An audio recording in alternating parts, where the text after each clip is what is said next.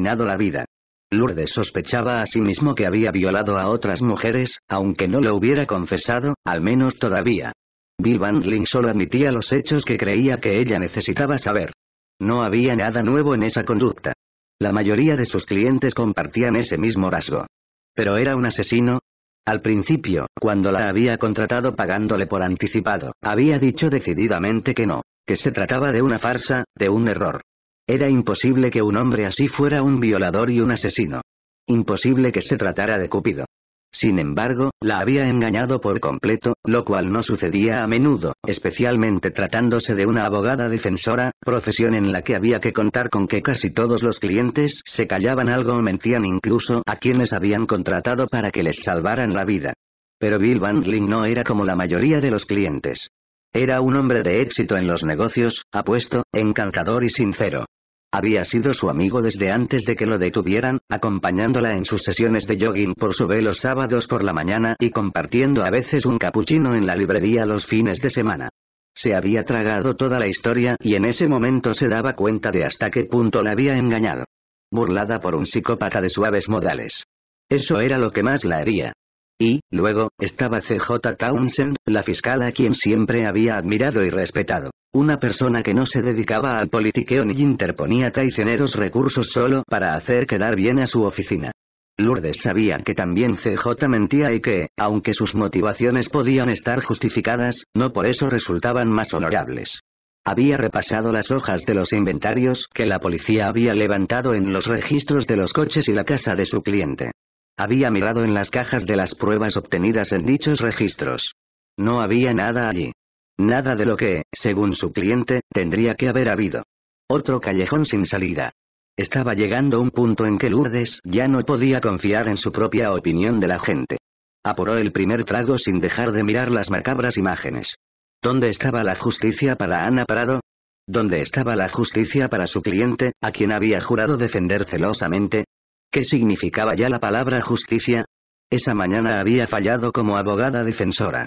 Había tenido acorralado a aquel imbécil de policía, pero había tirado la toalla. Había desistido porque sabía que su cliente era un violador. Y en ese momento, en la sala, cuando había visto a Bandling mirar a su víctima con nada más que desprecio y furia en los ojos, había sabido que volvería a hacerlo si la ocasión se presentaba. Y que no sería ella la que permitiría que ese hombre volviera a hacer daño a una mujer. Ella, que era la campeona de los derechos de las mujeres dentro de la comunidad cubana, la comunidad en la que vivía, trabajaba y ejercía. De hecho, era la presidenta de la lucha, la organización que ayudaba a las mujeres cubanas víctimas de la violencia doméstica a encontrar ayuda y respaldo legal ante sus agresores. ¿Cómo podía llamarse abogada y al mismo tiempo usar su talento para que un brutal violador saliera libre? Había visto de primera mano el daño que ese hombre había causado a su víctima, y sabía lo que le haría a la siguiente.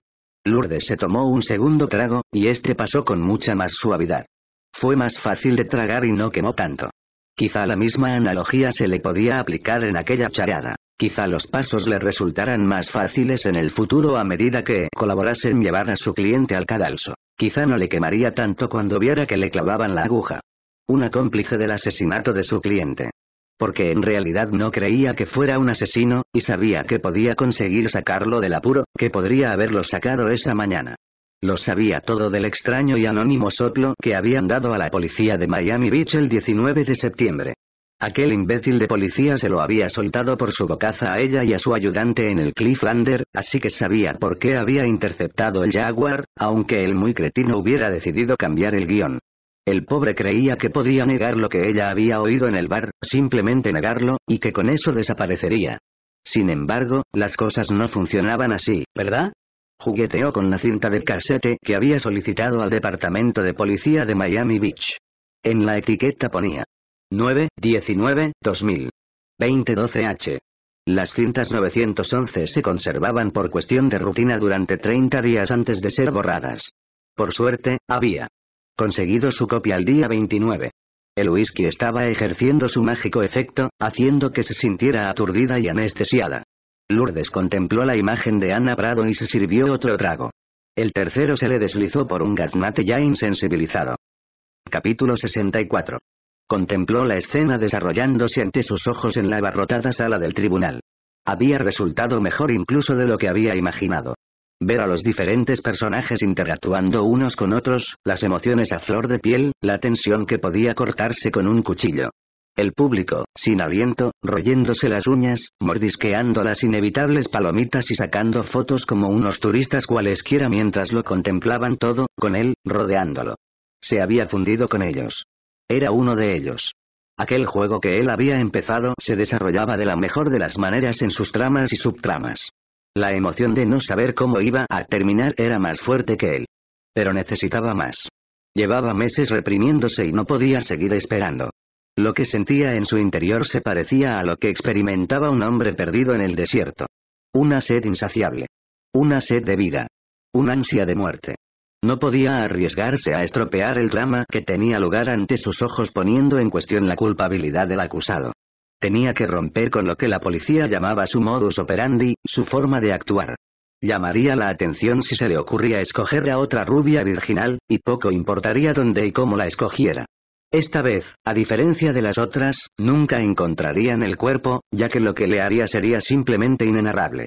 Y lo que antes le haría a su mente no cabía ni imaginarlo.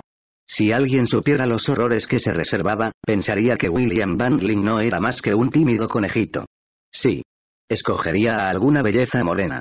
Una con el cabello azabache, la piel como la nieve y los labios rojos como una rosa. Su pequeña Blancanieves particular. Solo deseaba ganarse su corazón. Entonces, el asesino conocido como Cupido se levantó con los demás en el abarrotado tribunal y salió con ellos al pasillo, bajó por las escaleras y salió al caliente aire de Miami para ir en busca de su amor verdadero. Tercera parte. Capítulo 65. CJ encontró a Dominic y a Manny en el Pickle Barrel, tomándose unos cafés con leche. Se sirvió una taza en el mostrador de autoservicio y se sentó con ellos. ¿Cómo ha ido la reunión? preguntó Dominic. Estaban a 13 de diciembre, y era el día de la presentación de los informes ante el juez Shaskel. En esas ocasiones, la defensa y el Ministerio Fiscal se reunían con el juez encargado para tratar del caso, entablar negociaciones y, por fin, establecer los procedimientos del juicio para la semana siguiente. No han presentado una petición de aplazamiento. Creo que el lunes que viene empezaremos la selección del jurado. ¿En serio? comentó Manny. Habría jurado que ese perturbado nos iba a salir con mil y una excusas para evitar que le fríamos el culo antes de las fiestas. Bueno, pues mejor. Así acabaremos antes. Tengo que reconocer que yo también estoy sorprendido, dijo Dominic cautamente, solo dos meses para preparar un caso donde se pide la pena capital, en Miami, el paraíso de los aplazamientos y de los jueces complacientes, habiendo rechazado la oportunidad del intercambio previo, sin haber intentado siquiera un cambio de jurisdicción, no sé, CJ. ¿Todo esto no te supondrá problemas más adelante? ¿Te refieres a si puede servir de base para una futura apelación? No. Es Bandling el que quiere un juicio rápido, no rubio. Y creo que también es Bandling quien desea que se celebre aquí, en Miami, antes que ser juzgado en cualquier otro condado más al norte, donde el promedio de edad es de 65 años y cualquier cosa que diga la policía es sagrada. Tampoco se puede considerar omisión por parte de la defensa. El juez Haskell ha obligado a Bangling a declarar que sabe que tiene derecho a un intercambio previo y que cualquier renuncia a ese derecho no podrá ser invocada como base para una apelación una vez haya sentencia. Ya sabes, nada de pero, señoría, nadie me lo dijo. Además, Haskell casi me ha obligado a que le entregue todo lo que tengo, porque no quiere tener que revisar el caso. Lourdes no ha cogido más clientes aparte de Bangling. Es una abogada de reputación, con seis casos de pena capital a sus espaldas, así que tiene experiencia y sabe lo que tiene que hacer. No creo que se esté precipitando. Ha llevado otros asuntos sin intercambio previo. A veces se trata de una táctica de la defensa. Tú no me enseñas lo tuyo, pero yo tampoco te dejo ver lo mío. Quizá pretenda pillarnos por sorpresa. Espero que no. ¿Pero por qué tiene Van tanta prisa? No esperará acabar a tiempo de hacer sus compras de Navidad, ¿verdad? Preguntó Manny. Mira, para nosotros es mejor que ese tío quiera ir deprisa. Odio cuando estos asuntos se eternizan. Los testigos se olvidan, las pruebas se extravían y ocurre todo tipo de desastres, intervino Dominique. Estoy de acuerdo, dijo CJ, pero hay algo que un aplazamiento nos habría proporcionado, y habría sido más tiempo. Hizo una pausa deliberadamente antes de proseguir. Tyler me ha llamado esta mañana. De la Flos va a presentar el caso de Sivan y sus acusaciones por robo ante el gran jurado la semana próxima. Si perdemos el caso de Prado, cogerá a Van Lin y se lo llevará a la central del FBI tan rápido que no podremos decir esta boca es mía. Y, luego, tendremos que ponernos a la cola y esperar mientras procesa a Van Lin por cada caso separadamente. Eso le proporcionará tiempo y atención de sobra para conseguir ese cargo de juez federal que tanto ambiciona apostilló Dominique. Exacto dijo CJ. Entonces, ¿por qué no le tomamos la delantera y acusamos a Van Lin también de los otros asesinatos? Preguntó Manny. Tendremos tiempo sobrado, y lo del exceso de velocidad ya no será un problema, no empezando tú el juicio la semana que viene. Porque, aparte del ser hallado en la escena del crimen de Morgan Weber, seguimos sin contar con pruebas que relacionen a Van Lin con los otros asesinatos. Y el seral no es suficiente. Además, todavía no tenemos una sentencia favorable en el caso Prado. Se volvió hacia Dominique. Escucha, necesito que encontréis esos corazones. Necesito sus trofeos. Creía que habías dicho que no los necesitabas para que lo condenaran, objetó Manny. Y lo repito. Pero ya viste cómo estuvo Víctor Chávez en el estrado durante el recurso anulatorio. Se pone en plan evasivo, gallito y arrogante. Es un gilipollas terció Manny. Totalmente de acuerdo. Es un pésimo testigo, pero no puedo seguir adelante sin él. No quiero que desmotive al jurado hasta el punto de que se crean la tesis de la defensa de Van de que le tendieron una trampa. Si después resulta que lo sueltan por lo de Prado, me habré quedado sin una condena de asesinato para poder aplicar la norma Williams. Hasta cabe la posibilidad de que el juez no permita que el siguiente jurado sea informado de los hechos del caso Prado, y nos habremos quedado sin nada. Pero si hemos mirado en todas partes, CJ dijo Dominique. Hemos hablado con 300 testigos, analizado miles de pruebas. Ya no se me ocurre dónde mirar. Quizás un matasanos de Nueva York sepa qué hizo con ellos. ¿Has hablado con ese tal Feinburg? Preguntó Manny. No. Van Lin no va a alegar demencia, y según Lourdes es definitivo. Por lo tanto no puedo tener acceso a su historial, ni siquiera puedo conseguir que lo examinen los especialistas del Ministerio Fiscal. Tengo las manos atadas. Cualquier información que Van Lin haya dado a su psiquiatra es material confidencial. Ese médico no hablaría con nadie, aunque Van Lin le hubiera enterrado los corazones en el jardín de su casa. ¿Y qué pasa si Bowman tiene razón y resulta que ese tío nos ha salido como Jeffrey Dahmer y se los ha comido? Dijo Manny. No lo creo, oso repuso Dominique. Me parece que CJ tiene razón. He trabajado antes con compulsivos, y siempre guardan algún trofeo. En este caso, encajaría que fueran los corazones. Creo que quiere que los busquemos. Van Lin nos provoca, nos desafía a encontrarlos. Se ha tomado tantas molestias para espantarnos que sin duda espera horrorizarnos aún más cuando los encontremos. Repasad las pruebas otra vez pidió CJ. Mirad en los archivos. Puede que se nos pasara algo, un insignificante recibo de almacenaje, la llave de una taquilla, no sé qué, pero hemos de intentarlo. Dispondremos seguramente de las tres semanas del juicio. Si para entonces no puedo acusarlo por las otras, no habrá juez que se lo entregue a los federales hasta que yo lo haya llevado a juicio por asesinato. ¿Tres semanas de juicio, no? Pues qué bien suspiró Manny, Joe, jo, jo. Feliz Navidad, chicos. Ya podemos olvidarnos de nuestras vacaciones. Capítulo 66. Manny esperó a que CJ se hubiera marchado antes de hablar. Me gusta la fiscal, Tom, pero creo que está loca si espera que encontremos esos corazones a esta altura de la partida. A menos que Van Lin tenga un congelador en alguna parte, ya deben de estar descompuestos. Muy bien, pues hallemos ese congelador. Tú siempre tan optimista. Oye, ¿cuánto tiempo lleváis juntos tú y la fiscal? Preguntó Manny tímidamente, entre bocado y bocado a su pastelito. Dominique dejó escapar un suspiro.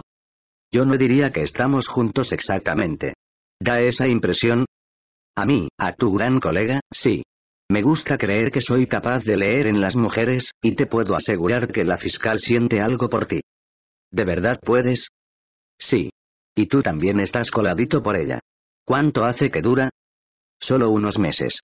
¿Y? Pues eso, que no lo sé. Ella me gusta, y yo le gusto, pero no está dispuesta a dejar que me acerque demasiado. Me parece que hemos llegado a una especie de punto muerto. Mujeres. Suspiran por una relación, y cuando les das una relación resulta que no la quieren. Por eso me he casado tres veces, Tom, y a pesar de todo sigo sin entenderlas. Pero no importa cuántas veces haya renegado de ellas, al final siempre vuelvo buscando más. Es como el picrillo. Me produce indigestión, pero no dejo de pedirlo. Bueno, ella no quiere que lo nuestro se sepa, así que deja que el asunto quede entre tú y yo y no afiles ese instinto tuyo. Le darías un susto de muerte si llegara a saber que la gente lo sabe. Le preocupan Tyler y la prensa. Está bien, tienes la palabra de mamá, pero no os dediquéis a besuquearos en el asiento de atrás del coche patrulla. Creo que ella tiene razón, Manny, de verdad dijo Dominique lentamente, mientras se preguntaba si debía expresar sus pensamientos o guardarlos para sí. Miró a su alrededor para asegurarse de que nadie los escuchara, pero el pique el barrel estaba casi vacío y tenían toda la parte de atrás de la cafetería para ellos solos. Prosiguió en voz baja. Escucha, oso, he estado pensando, repasando los informes de las escenas del crimen y las fotos, buscando lo que se nos ha estado escapando. ¿Cómo es que no hay rastros físicos del agresor? ¿Por qué Cupido no quiere que los encontremos? No. Eso no encaja, ya que si así fuera, no nos habría dejado los cadáveres para que los descubriéramos. Lo hace porque se cree muy listo, oso. Se arriesgó mucho con esas chicas, sacándolas de todas esas discotecas, ante las narices de los guardias de seguridad y de sus amistades. Se tomó su tiempo para matarlas, montando los decorados, jugando con los cuerpos y disponiéndolos una vez muertos. Todo muy controlado. Todo muy calculado. Quiere que veamos lo que hace, Manny. Quiere que sepamos lo que les hizo antes de matarlas, con esa droga, el microbaron. Quiere tenernos horrorizados, hipnotizados, asombrados de lo listo que es. Puede mostrarse tan audaz y descarado como quiera y que aún así no consigamos echarle el guante. Con la excepción de Ana Prado, todas las escenas donde hallamos los cadáveres habían sido cuidadosamente planificadas. Había planeado minuciosamente cómo y cuándo las mataría, y cuándo y cómo las descubriríamos. Hasta el último detalle de la posición de los dedos. De acuerdo. Es listo. Lo ha planeado todo, incluso que las encontremos. ¿A dónde quieres llegar? ¿Dónde está la relación? Preguntó Manny. Piensa en Marilyn Sivan en aquella base militar abandonada. Creo que Cupido sabía que los polis se entrenaban ahí. Sabía que la policía la encontraría y que la escena que les iba a preparar haría que hasta los más encallecidos de nosotros nos replanteáramos nuestra profesión. Piensa en Nicolette Torrence, hallada por esos niños en esa casa de crack abandonada que por casualidad estaba siendo objeto de una investigación de la policía de Coral Gables y del Impact de Florida Sur por tráfico de drogas. Piensa en Hannah Córdoba, hallada en aquella fábrica de azúcar abandonada, que había sido registrada en busca de heroína por el Departamento de Aduanas cuatro semanas antes. Piensa en Crystal Pierce, encontrada en el supermercado abandonado donde menos de seis meses antes había tenido lugar un asesinato que fue investigado por el Departamento de Policía de Miami-Dade. Todos los crímenes guardan relación con alguna de las fuerzas de la policía. ¿Qué me estás diciendo, Tom? ¿Crees que Van no es más que un imitador? ¿Crees ese camelo de que le han tendido una trampa? Todo ese rollo de la policía bien podría ser pura coincidencia. Diantre, según los llorones de los defensores de las libertades civiles de la ACLU, la casa de casi todos los habitantes de Miami ha sido registrada por la policía alguna vez. Y Dios sabe que los federales son como las cucarachas cuando se trata de buscar droga. Dom, esos cuerpos no fueron encontrados en los lugares más elegantes, lo acepto. Pero, normalmente, los cadáveres nunca lo son. No creo que Van Lin sea un imitador, oso. Creo que es el verdadero. Los cortes en el torso y el esternón eran como los demás y habían sido hechos en el mismo orden. Ana Prado tenía en su cuerpo las mismas drogas que las otras. Un imitador no podría haber ido tan lejos. No podría saber lo de las drogas. A pesar de todo, sigo creyendo que existe alguna conexión con la policía. Algo como que Van Lin tenía aspiraciones a ser policía. Que quizá a su gato lo mató un poli. Hay muchas razones por las que la gente tiene manía a la poli. Somos los cabezas de turco de todo el mundo. Dominica sintió y tomó un sorbo de su café antes de seguir pensando en voz alta. Puede ser. En cuanto a Ana Prado, creo que Van Lin tenía otros planes para ella. Planes que quizá fueron interrumpidos por su inesperada captura. Si pudiéramos averiguar qué planes eran esos, quizá podríamos descubrir dónde guarda sus trofeos. Manny meneó la cabeza. No lo sé, Tom. ¿Una conexión con la policía? Suponiendo que existiera, ¿cómo iba a estar enterado Van Ling de los registros, de las investigaciones, de los entrenamientos, de toda esa mierda que dices?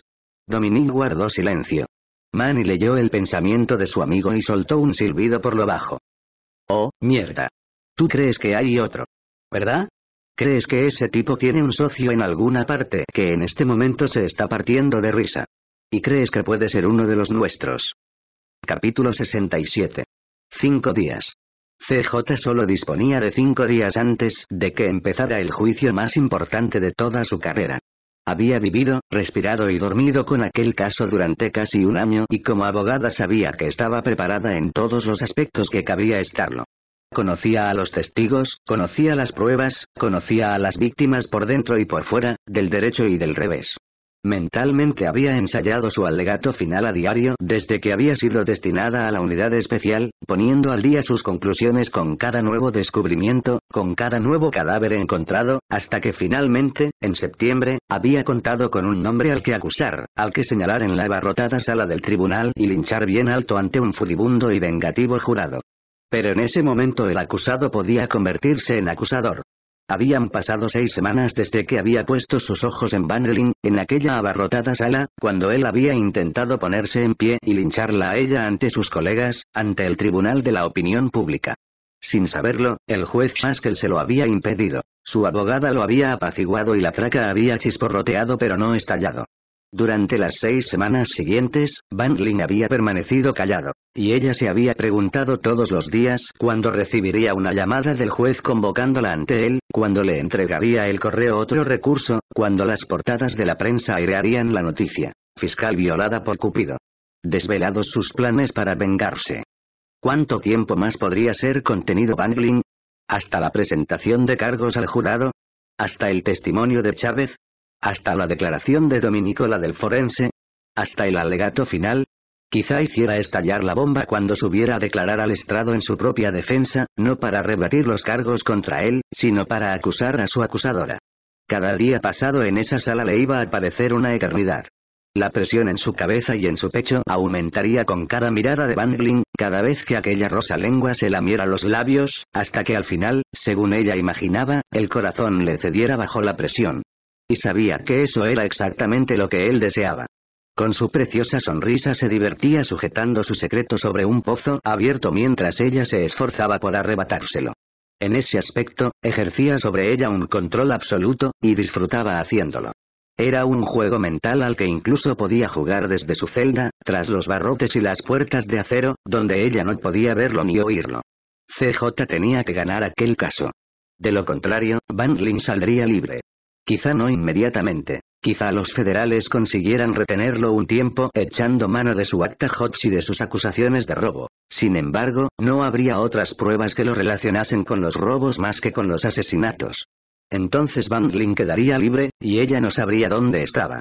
No lo sabría hasta que él apareciera de nuevo como vecino de apartamento, o en las escaleras de los juzgados, o en el restaurante a donde hubiera ido a cenar, o en la cafetería donde solía desayunar. Igual que en Nueva York, donde podía haber estado en cualquier parte. Solo que esa vez sería diferente porque cuando lo viera, no habría nada que ella pudiera hacer. Podría gritar cuanto quisiera en plena calle concurrida cuando él pasara a su lado. En el autobús si se sentaba en el asiento vecino. En el restaurante mientras le abría la puerta, y no habría nada que nadie pudiera hacer hasta que Bangling volviera a ponerle la mano encima. Y entonces sería demasiado tarde. El resplandor de la pantalla del ordenador en la oscura oficina la obligó a entrecerrar los ojos mientras terminaba el primer borrador de las preguntas que esperaba formular a los potenciales miembros del jurado que iban a ser elegidos durante la selección. Últimamente corría las cortinas por la noche cuando se quedaba sola en el despacho, para protegerse de las curiosas e inquisidoras miradas de su vecino del otro lado de la calle. Esparcidos encima del escritorio se hallaban los tres primeros borradores de su declaración inicial. Todos eran diferentes, en función de cómo y cuándo decidiera el volcán entrar en erupción y escupir su lava derretida, y también en función de si la unidad especial de Dominic conseguía hallar las pruebas que necesitaba. La respuesta estaba en alguna parte. Lo sabía y no iba a dejar de buscarla, a menos que... ¿Y si Van no era el asesino? No lo creía realmente, pero ¿y sí? ¿Y si no conseguían hallar los corazones o más pruebas porque no había nada que encontrar? ¿Y si había sido otra persona? Alguien que, mientras ella se esforzaba por mantener entre rejas al monstruo del otro lado de la calle, estaba afilando su mejor cuchillo a la espera de la primera oportunidad de surgir de entre las sombras de cualquier callejón. y si el asesino había vuelto a actuar, pero ellos no lo sabían porque habían dejado de buscarlo. Su mente se negó a proseguir con aquel peligroso juego. Todas las pruebas halladas apuntaban irrefutablemente a Bangling, todas salvo una. CJ hizo girar entre los dedos la cinta de casete antes de ponerla en el aparato que tenía encima del archivador. 911. ¿Cuál es su emergencia? Se trata de un vehículo. Un Jaguar negro último modelo, un XJ8. En este momento se dirige hacia el sur por Washington desde Lincoln Road. Lleva dos kilos de heroína en el maletero y se dirige al aeropuerto. Por si lo pierden en Washington, va a coger MacArthur. Señor, ¿cómo se llama usted? ¿Desde dónde telefonea? A continuación se cortaba la línea. Al menos había escuchado la grabación una treintena de veces desde que había conseguido una copia de la policía de Miami Beach. La voz sonaba amortiguada, como si el comunicante hubiera tapado el micrófono con algo. A pesar de todo, era profunda y pertenecía claramente a un hombre, a alguien calmado y sin prisas. Al fondo sonaba débilmente música, una ópera quizá. ¿Por qué iba alguien a dar un soplo falso sobre un coche que llevaba droga? ¿Quién podía desear que interceptaran un Jaguar y que registraran su maletero? ¿Un conductor rencoroso que deseaba vengarse de que le hubieran cortado el paso? La tranquila voz del teléfono no parecía irritada ni molesta. Tampoco sonaba como una llamada hecha desde un móvil. No había ningún indicio que relacionara a Bandling con las drogas ilegales y menos aún con su tráfico. ¿Quién podía desear que registrasen el maletero? La única respuesta posible heló la sangre en las venas de CJ. Alguien que conociera el macabro contenido que la policía iba a encontrar dentro. Capítulo 68. El aroma del pollo asado y de las galletas de mantequilla le acarició la nariz cuando abrió la puerta. Lucy corrió en busca del origen de los olores, intentando salir desesperadamente al rellano entre las piernas de CJ, pero ésta la inmovilizó. Tibi segundo localizó al portador de las delicias y se frotó coquetamente contra los tobillos de Dominic sin dejar de ronronear, como si hiciera semanas que no lo hubiera visto. Veo que has traído la cena, dijo CJ. Sí, es que no hay reunión que valga sin comida, contestó Dominic entrando en el apartamento. De todas maneras, no te dejes impresionar. Es todo de Publix, aunque tuve que saltar para conseguir más de esas galletas. Sacó una botella envuelta en papel marrón que llevaba oculta tras la espalda y se la entregó a CJ. Y tampoco hay cena que valga sin una botella de Chardonnay Kendall Jackson. A continuación se inclinó y acarició la cabeza de Lucy. Hola, vieja amiga. Veo que mamá todavía no te ha dado la cena, ¿eh? Bueno, pues tengo una sorpresa para ti. Tibi maulló en señal de protesta y también para ti, claro que sí. Dominic sacó otra bolsa de Publix. Dentro había un recipiente con higadillos de pollo. Lucy aulló de placer, y a Tibi le faltó poco para saltar encima de Dominic. Chicos, vamos a coger vuestros cuencos. CJ contempló la escena desde la cocina mientras sacaba la comida y ponía los platos y las copas. Ahora se pasará media hora aullando, y también habrá que sacarla a pasear otra vez. No pasa nada. Yo la sacaré. Dominique entró en la cocina y, cogiendo la botella de vino, se acercó a CJ por detrás mientras ella ponía la mesa. Me apetece este trozo, le dijo a CJ cuando ésta se dio la vuelta para mirarlo. La llevó contra la mesa y la besó suavemente en los labios mientras su mano buscaba la de ella. Pensándolo bien, ¿quién necesita comida? Está bien, Casanova. Enséñame tus músculos y abre el vino. Ahora mismo. Pero no se movió. Apretándose todavía contra ella, Dominique la rodeó con los brazos y encontró la botella y el sacacorchos. Luego, su boca halló la de CJ de nuevo y su lengua se aventuró sensualmente. Las manos de ella le recorrieron el pecho, palpando la firmeza de su tórax, la fortaleza de sus hombros, la curva de sus músculos hasta que se anudaron alrededor del cuello. A través de la seda de la blusa, CJ notó el frío de la botella de vino en la espalda, goteando condensación contra el calor de su cuerpo, haciendo que la tela se le pegara a la piel. El tapón saltó de la botella, pero su beso no se interrumpió. Dominique dejó la botella sobre la mesa y le sacó la blusa de la falda y se la apartó de la espalda, sustituyéndola por sus propias manos, húmedas y frías por el contacto con el vino. A continuación, provocándole un delicioso escalofrío, las subió hasta el cierre del sujetador y se detuvo para acariciarle los hombros. Después, las bajó y le desabrochó el sujetador. Los dedos de Dominique le hicieron cosquillas en las costillas hasta que al fin encontraron sus firmes pechos. Apartó el sujetador y se los acarició suavemente, notándolos oscilar bajo su contacto a medida que la respiración de CJ se hacía más pesada. Dominique liberó una mano y la deslizó por el vientre de CJ, haciendo caso omiso de las feas cicatrices y encontrando el on de la falda. Ella no pudo despegarse de su beso, y en menos de un segundo el botón quedó desabrochado y la cremallera bajada. Los dedos de Dominique bajaron un poco más, apartando las bragas y hallándola húmeda y caliente, esperándolo. La falda cayó al suelo junto con el resto de la ropa. Luego, él la levantó con la fuerza de su cuerpo hasta sentarla en la mesa sin retirar los dedos, mientras su pene le presionaba los muslos a través del pantalón. CJ se dio cuenta de lo que iba a pasar y se obligó a romper el abrazo. Abrió los ojos y vio los brillantes fluorescentes de la cocina encima de ella. Dominique, vayamos al dormitorio, dijo con un hilo de voz.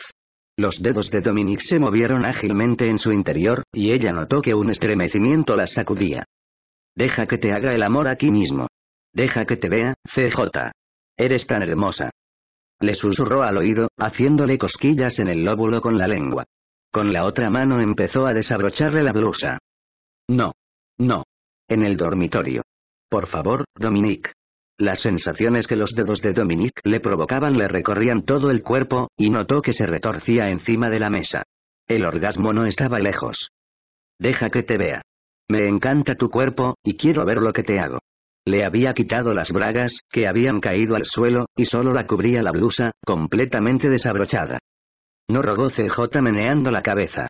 Por favor. Dominique se retiró ligeramente y la miró a los ojos. Sin decir palabra, la cogió en brazos y la llevó al oscuro dormitorio, dejando tras ellos las reveladoras luces de la cocina. Capítulo 69. Yacían juntos en la oscuridad, cara contra espalda, igual que dos cucharillas del mismo juego de cubiertos. Dominique la contempló en la débil claridad que emanaba de los dígitos rojos del despertador mientras ella dormía, jugueteando con los cabellos de su nuca, donde nacían las rubias raíces. Después de haber hecho el amor, y como había ocurrido otras veces, CJ se había puesto rápidamente una camiseta en la oscuridad antes de volver a arrebujarse entre las sábanas. Dominique metió la mano bajo la prenda, notando la calidez de su espalda en la palma, la levedad de sus delicados huesos, el perfil de los músculos que los cubrían y su suave piel. La observó dormir, observó su cuerpo subiendo y bajando bajo su mano con cada respiración. Igual que otras veces, los pensamientos de Dominique volvieron a Natalie, y a la luz del despertador creyó ver los oscuros cabellos que solían cubrirle los hombros y se le derramaban por la espalda mientras dormía. Natalie. Su prometida de tantos años y la única mujer en su vida por la que había sentido lo mismo y de la que había necesitado estar igualmente cerca. Verla, simplemente, durmiendo a su lado. Recordó lo insoportable que había resultado el dolor cuando ella se había marchitado, cuando al fin la había perdido. La pena le había resultado insufrible. Lo había afectado tanto que había llegado a creer que una parte de su ser había muerto con ella, como si alguien le hubiera taladrado un agujero en el pecho y le hubiera arrancado literalmente el corazón. El fallecimiento de Natalie lo había ayudado a comprender a qué se referían los parientes de las víctimas cuando le hablaban del terrible dolor que experimentaban por la muerte de un ser querido. Una pena tan profunda e intensa que contagiaba todo lo que hacían, cualquier relación que pudieran mantener, que les llegaba al alma. Y, luego, estaba el último y brutal secreto que ese macabro club le había confiado. Que el tiempo no curaba necesariamente todas las heridas. No se veía capaz de vivir de nuevo aquella desdicha. Se acordó de la tortura que había significado levantarse por las mañanas y contemplar el apartamento vacío, los felices recuerdos de lo que habían compartido encerrados en alguna foto enmarcada, un centro de mesa que habían comprado durante un viaje o su taza favorita. Esa agonía diaria se había prolongado hasta aturdido, hasta hacerlo jurar que nunca volvería a intimar tanto con una mujer. Había apartado esos recuerdos a un lejano rincón. Pero la familiaridad del momento volvió a despertarlos, exigiéndole que los revisara, y volvió a ver el dulce rostro de Natalie antes de que se convirtiera en una máscara mortuoria. Permaneció tumbado junto a CJ mientras sus cuerpos se tocaban y el perfume de ella lo incitaba. Y contra todo sentido se vio queriendo más de ella, deseando saber todo lo que hubiera que saber de esa misteriosa, bella y atormentada mujer. La besó en el cuello y la notó agitarse y apretarse contra él. ¿Qué hora es? murmuró CJ medio dormida. Las doce. Llevas durmiendo una hora. Espero no haber roncado. Esta noche, no. CJ se volvió y le apoyó la cabeza en el pecho. Me muero de hambre, dijo mirando el oscuro dormitorio. Un rayo de luz se filtraba por debajo de la puerta. Reinaba una extraña quietud. Me pregunto si la comida seguirá ahí. Ni siquiera he tenido tiempo de darles los higadillos de pollo, así que no creo que quede gran cosa. Casi parece como esas películas malas de terror, cuando la chica sexy le pide al novio que vaya a buscarle una cerveza después de haber estado retozando, y no queda nada con vida en la cocina tras el ataque de las mascotas hambrientas. Pues me alegro de haber cerrado la puerta, porque si no el gordo de tu gato estaría apuntándonos con mi pistola y pidiendo más. Es él quien manda, ya lo sabes. Me queda un poco de pizza congelada y quizá algo de sopa. No creo que haya nada más. Permanecieron tumbados en la oscuridad durante un momento antes de que Dominique volviera a hablar. ¿A qué corresponden tus iniciales, CJ? inquirió de pronto. Acabo de darme cuenta de que nunca te lo he preguntado. Ella se puso tensa, pero como la había pillado desprevenida se oyó responder. A Chloe murmuró casi inaudiblemente. A Chloe Joana. Chloe repitió él. Me gusta. Es bonito. ¿Por qué no lo usas? No me llames así, por favor. Si no quieres, no lo haré, pero explícame el motivo. No quiero hablar de ello. Es personal, contestó apartándose de él. Dominique esperó unos segundos. Luego, dejó escapar un suspiro. ¿Por qué tienes tantos secretos? ¿Por qué no los compartes conmigo? Ese nombre forma parte de mi pasado. Se trata de un tema que no quiero discutir. Pero ese pasado es parte de ti. Y añadió en voz baja. Y yo quiero formar parte de ti, CJ. Ese pasado es lo que yo era, no lo que soy ahora. Eso es todo lo que puedo ofrecerte, Dominique repuso sentándose muy embarada en la cama. Él también se sentó y se puso el pantalón. Muy bien. De acuerdo, dijo en tono de resignación, ¿qué tal si preparo una tortilla? ¿Tienes huevos? CJ tardó unos segundos en contestar. Mira, tenemos que hablar y no quiero que te lo tomes a mal. Seguía sentada al borde de la cama, embarada, dándole la espalda. El juicio comenzará dentro de unos días y mientras dure no creo que debamos estar juntos. Me temo que los dos vamos a ser objeto de un escrutinio incesante por parte de la prensa y nuestros jefes, y estoy segura de que llevo escritos en la cara mis sentimientos por ti cuando estoy a tu lado.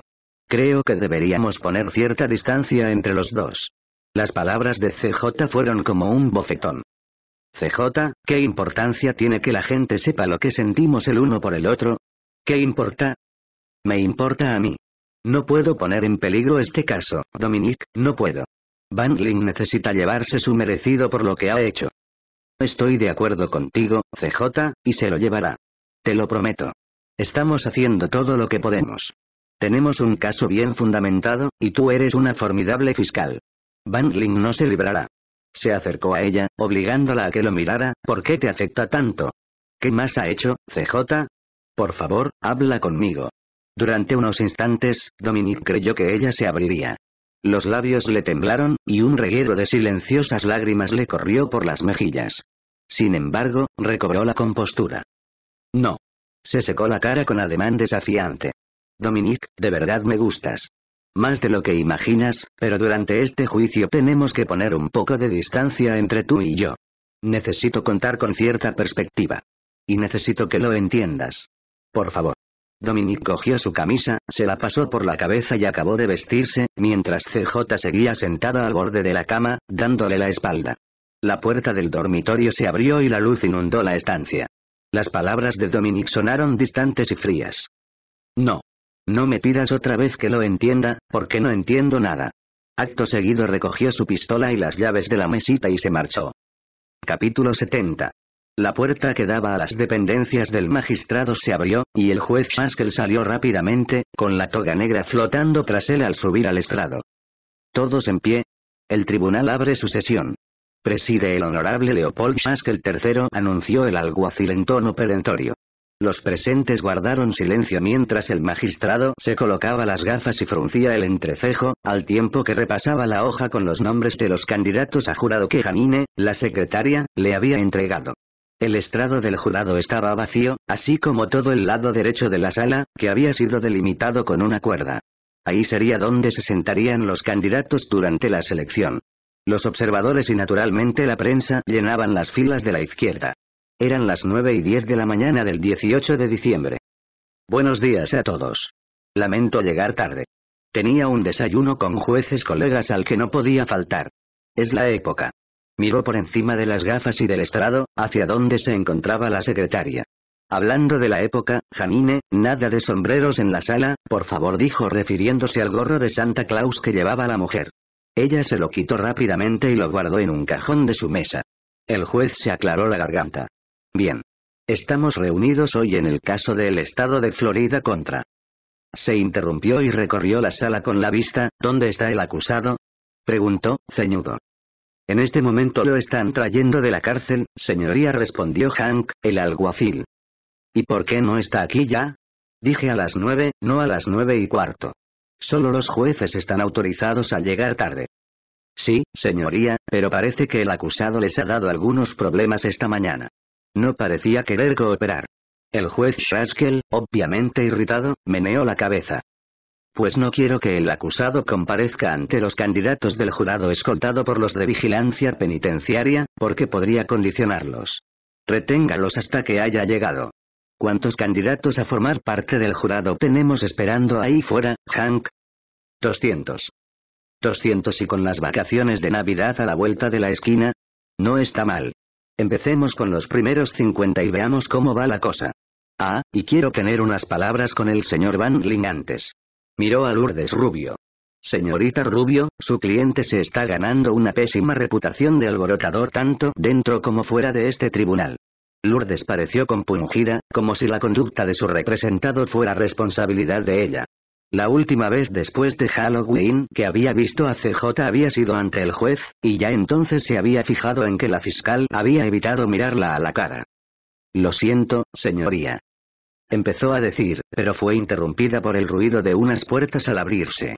Tres forzudos guardias de vigilancia penitenciaria entraron en la sala llevando a William Van esposado de pies y manos. El acusado iba vestido con un caro traje italiano de color gris oscuro, camisa blanca y corbata de seda gris claro, también de marca. A pesar de que a CJ le pareció que debía de haber perdido unos 10 kilos, tenía buen aspecto, salvo por el lado izquierdo de la cara, que se le estaba amoratando. Los agentes lo sentaron no sin brusquedad al lado de Lourdes, que apartó un poco su silla. No le quiten todavía esas esposas, agentes. Tengo que decirle algunas palabras al señor Vanilling. ¿Por qué se ha retrasado? Se ha peleado, señoría, contestó uno de los vigilantes. Empezó a chillar y a gritar que no pensaba presentarse ante el tribunal sin las joyas que llevaba cuando llegó. Nos acusó y nos dijo que éramos una panda de ladrones. Tuvimos que reducirlo para conseguir sacarlo de la celda. ¿Y por qué no puede llevar sus joyas? Porque es un riesgo para la seguridad. ¿Un reloj es un riesgo para la seguridad? No nos pongamos en plan absurdo, agente. Yo le permito llevar sus joyas en esta sala. El juez Haskell entrecerró los ojos y miró a Vanilling. Ahora escúcheme bien, señor Vanilling. He sido testigo de sus desmanes en esta sala y estoy al tanto de los alborotos que ha organizado en otras partes, así que le advierto desde ahora que no soy un juez paciente ni tolerante. Tres avisos y se acabó. Ya ha gastado dos. Si se comporta indebidamente y me obliga a ello, haré que lo traigan todos los días esposado, amordazado y vestido con su mono rojo. ¿Me he explicado con claridad? Van Lim sintió sin que sus fríos ojos se apartaran del juez. Sí, señoría. Bien. ¿Tiene alguien algo más que decir, o podemos pasar a seleccionar al jurado? Van se volvió para mirar a CJ, agitando su secreto encima del pozo. El juez Haskell hizo una breve pausa y prosiguió. De acuerdo. Si nadie tiene nada, vamos a ello. Agente, quítele las esposas al señor Vanilling. Hank, vaya a buscar a los primeros 50. Quiero tener al jurado seleccionado antes de que acabe la semana. Que este caso no se alargue más allá de las vacaciones de Navidad. A pesar de la angustia que le oprimía el pecho y hacía que la sala le diera vueltas, CJ sostuvo desafiante la mirada de Vanling. Muy lentamente, la lengua de Van Ling asomó y se deslizó por sus labios, descubriendo una sonrisa de complicidad. La boca le brillaba bajo las luces de la sala. CJ supo que ese no sería el día en que Van Ling revelara al mundo su secreto. No. Prefería atormentarla con la espera, manteniéndola en la duda. Manejaría el secreto igual que un arma mortífera y la utilizaría cuando más la necesitara, lanzándola rápida y con todas sus fuerzas contra su yugular. Y ella nunca la vería llegar. Capítulo 71. El jurado, compuesto por cinco mujeres y siete hombres, quedó constituido el viernes a las 14.42 de la tarde, exactamente 15 minutos antes de que el tribunal cerrara por vacaciones de Navidad. En Florida no se recluía a los jurados, sino que se les permitía que volvieran a sus casas con sus familias. Cuatro hispanos, dos afroamericanos y seis clásicos formaban el jurado de iguales de William Bannerling. Sus edades iban desde los 24 años del instructor de inmersión hasta los 76 del librero jubilado. Todos vivían en Miami, y aunque estaban al corriente de los crímenes de Cupido, todos habían declarado que todavía no se habían formado una opinión acerca de la culpabilidad o inocencia del acusado, de modo que habían prestado su juramento de ser justos e imparciales con ambas partes. Para cuando CJ guardó sus carpetas en los archivadores y cerró su maletín, la sala había quedado desierta. Y dado que la selección del jurado le había parecido tediosa y aburrida, hasta la prensa se había marchado temprano. La oficina del fiscal del estado no era caso aparte. Tyler había cerrado su despacho a las 3, pero la mayoría de la gente se había ido a casa a las 12. CJ pasó ante los desiertos cubículos de la zona de secretarias, decorados con llamativos adornos navideños y cuyas papeleras rebosaban de arrugados papeles de regalo de color verde, rojo y blanco. Un carro que se utilizaba habitualmente para llevar expedientes al sótano yacía abandonado junto a la fotocopiadora, rebosante de vasos de plástico medio llenos de refrescos y platos con restos de aperitivo, los vestigios de la pequeña fiesta navideña que acababa de perderse. Casi todos los fiscales encargados de delitos mayores se habían marchado el lunes, en un intento de aprovechar los días sueltos que les quedaban de vacaciones antes de perderlos, y sus despachos se veían oscuros y vacíos. CJ recogió los expedientes que creía que iba a necesitar para su declaración inicial y guardó los demás bajo llave en su archivador. Cogió su abrigo y su bolso del respaldo de la silla, su maletín y el carrito y se encaminó despacio hacia los ascensores. Había oído decir que se producían muchos más suicidios en el Día de Acción de Gracias, por Navidad o por Año Nuevo que en cualquier otra fecha del año. No solo eran los mejores momentos del año. También podían ser los más solitarios. Cruzó el vestíbulo, salió al oscuro aparcamiento y se abrochó rápidamente el abrigo. Incluso en aquel soleado estado del sur, el aire nocturno podía resultar gélido si llegaba un frente frío soplando a través del río Miami. Todos tenían planes para las vacaciones, planes para pasar el tiempo con amigos, con los seres queridos. Pero no ella. Para CJ no había nadie en esas vacaciones navideñas, y esos días transcurrirían como tantos otros, sin la alegría de la paz en la tierra para los hombres de buena voluntad. Naturalmente, siempre le quedaban sus padres, en California, eso suponiendo que volar a la costa oeste para pasar solo un par de días fuera una opción. Sin embargo, sus visitas siempre habían estado teñidas de tristes recuerdos que resultaban una amenaza a cualquier intento de mantener una conversación normal. Su madre insistía en evitar hablar de cualquier cosa que pudiera resultar desagradable, lo cual reducía las conversaciones a los asuntos del tiempo y de los últimos estrenos musicales. Y su padre se limitaba a observarla tristemente mientras esperaba que volviera a desquiciarse. Al menos esa era la impresión que CJ tenía.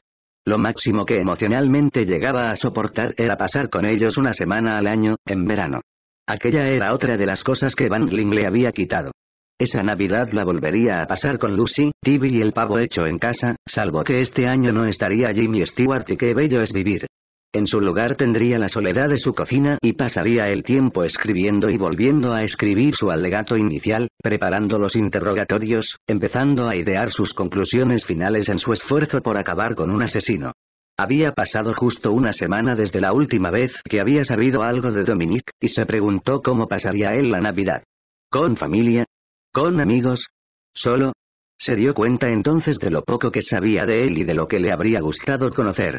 Le gustaba pensar que, cuando el caso hubiera concluido, quizá podrían reanudar su relación donde la habían dejado. No obstante, en lo más profundo de sí, sabía que era imposible. Dominique había sido en exceso categórico al marcharse, cuando ella había dejado que saliera por la puerta. Añádelo en la lista de los sacrificios en aras de un bien mayor. Llegó a su jeep y dejó en él el maletín y los archivos mientras hacía una señal con la mano al guardia de seguridad que la observaba desde el calor del iluminado vestíbulo del edificio Graham. Acto seguido, condujo hacia Fort Lauderdale y su pavo para uno, sin reparar en el rostro conocido que la observaba en silencio desde las sombras. Observándola y esperando. Capítulo 72. Si me quedara sentada sin decir nada, sencillamente callada y sin moverme, ustedes pensarían que es culpable a pesar de que la ley les dice que no lo es. Lourdes Rubio permaneció en su asiento mientras daba comienzo a su exposición inicial. Miraba el estrado del juez Shaskel y hablaba al jurado como si estuviera expresando en voz alta sus pensamientos. CJ se había sentado tras exponer ante la silenciosa aglomeración de espectadores y cámaras de televisión lo que, a su juicio, había sido una contundente y bien argumentada exposición inicial que no dejaba espacio a la especulación. En ese momento había llegado el turno de la defensa. Lourdes dejó pasar un instante de silencio. Luego, se volvió hacia el jurado y lo contempló con una mezcla de incredulidad y decepción. Ahora ustedes miran a mi cliente como si fuera un carnicero. Están naturalmente impresionados por las vividas e impactantes imágenes que el Ministerio Fiscal les ha descrito durante la última hora. No hay duda de que Ana Prado era una hermosa mujer que fue brutalmente mutilada y asesinada a manos de un loco. Y ustedes creen que mi defendido es culpable, como si las palabras de la fiscal bastaran para llevarlos a semejante conclusión. Y desean que la sola visión de William Bandling baste para horrorizarlos y atemorizarlos, a pesar de que el sentido común les dice que este apuesto y bien educado hombre de negocios no inspira tal reacción.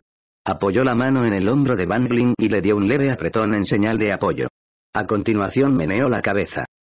Sin embargo, lo que la fiscal les ha expuesto en su alegato inicial no son pruebas, señoras y caballeros, no son hechos.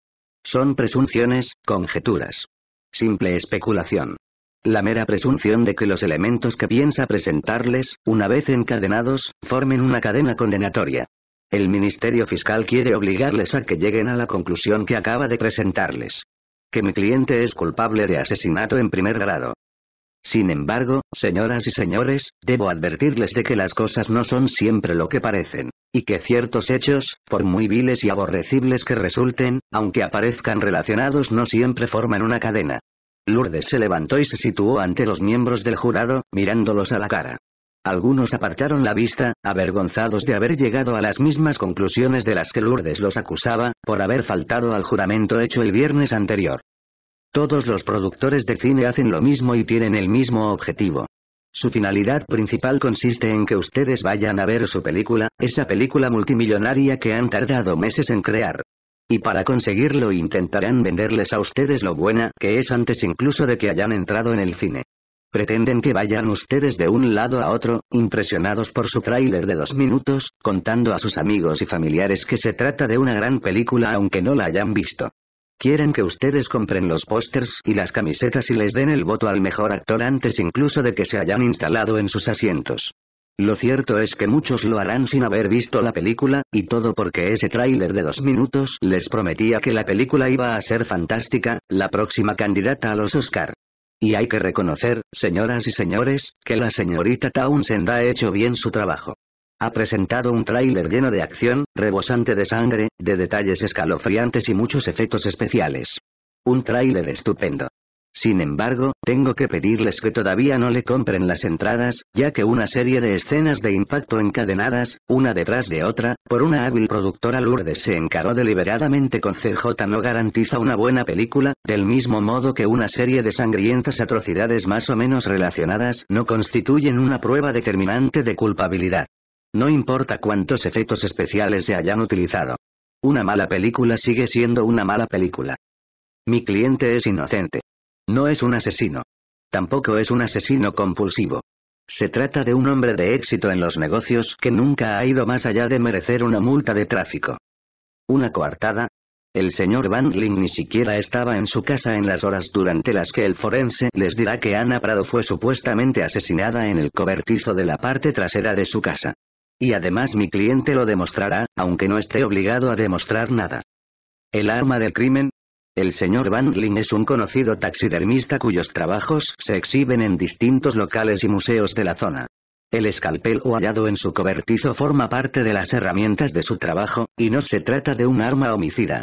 Los microscópicos restos hallados en él son de sangre de animal, no de sangre humana. Y así lo demostrará, aunque no esté obligado a hacerlo.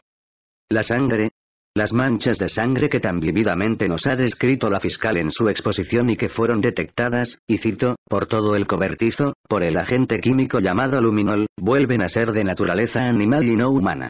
Déjenme que les señale que tres, y levantó tres dedos de la mano para subrayar sus palabras mientras caminaba lentamente ante los miembros del jurado sin dejar de mirarlos, cuéntenlas, tres microscópicas manchas de sangre correspondientes al ADN de Ana Prado fueron halladas en el cobertizo, un cobertizo que según alega el Ministerio Fiscal quedó regado con la sangre de Ana Prado cuando a la víctima le seccionaron la aorta. Aún así, solo se hallaron tres diminutas manchas de sangre. Y las halló, señoras y señores, un agente del DPF, un agente desesperado al frente de una unidad especial que después de pasar un año buscando a Cupido sin resultados necesitaba ponerle cara y nombre al asesino compulsivo tras el que andaba. El maletero. El Jaguar había sido dejado en el taller durante dos días antes de que mi cliente lo recogiera el 19 de septiembre. Durante ese tiempo estuvo fuera de su cuidado y control, y ni siquiera miró en el maletero antes de dejar su bolsa de viaje en el asiento de atrás y dirigirse al aeropuerto para tomar el vuelo que tenía reservado. Y también demostrará a este punto, aunque no esté obligado a hacerlo.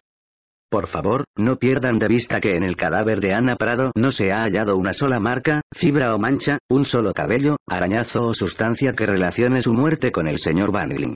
Y, aunque no comparece hoy por el asesinato de otras mujeres y no ha sido acusado formalmente de más crímenes, debemos insistir en que no existe ninguna prueba que relacione al señor Van con ninguna de las muertes de esas diez mujeres. Ni una huella, ni un pelo, ni un rastro de piel o fibra, ni una gota de ADN, nada. Protesto. Interrumpió CJ levantándose de su asiento. Los hechos relativos a esa otra investigación no se han incorporado a este caso. Son, por lo tanto, irrelevantes. Se acepta, sentenció Shaskel. Sin embargo, el daño ya estaba hecho. Lourdes se había asegurado de que el jurado supiera que no existían indicios que relacionaran a Bandling con los otros asesinatos. Ninguno en absoluto. Lourdes se fijó en una mujer que antes había evitado mirarla y que en ese momento asentía levemente con la cabeza ante sus palabras mientras miraba curiosamente a Bandling a hurtadillas.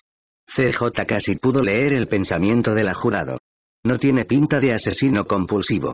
Van Ling sonrió levemente a la mujer, y ésta apartó la mirada con timidez. ¿Verdad, señoras y señores, que la cadena ya no les parece tan incriminatoria? La película ya no promete ser tan buena.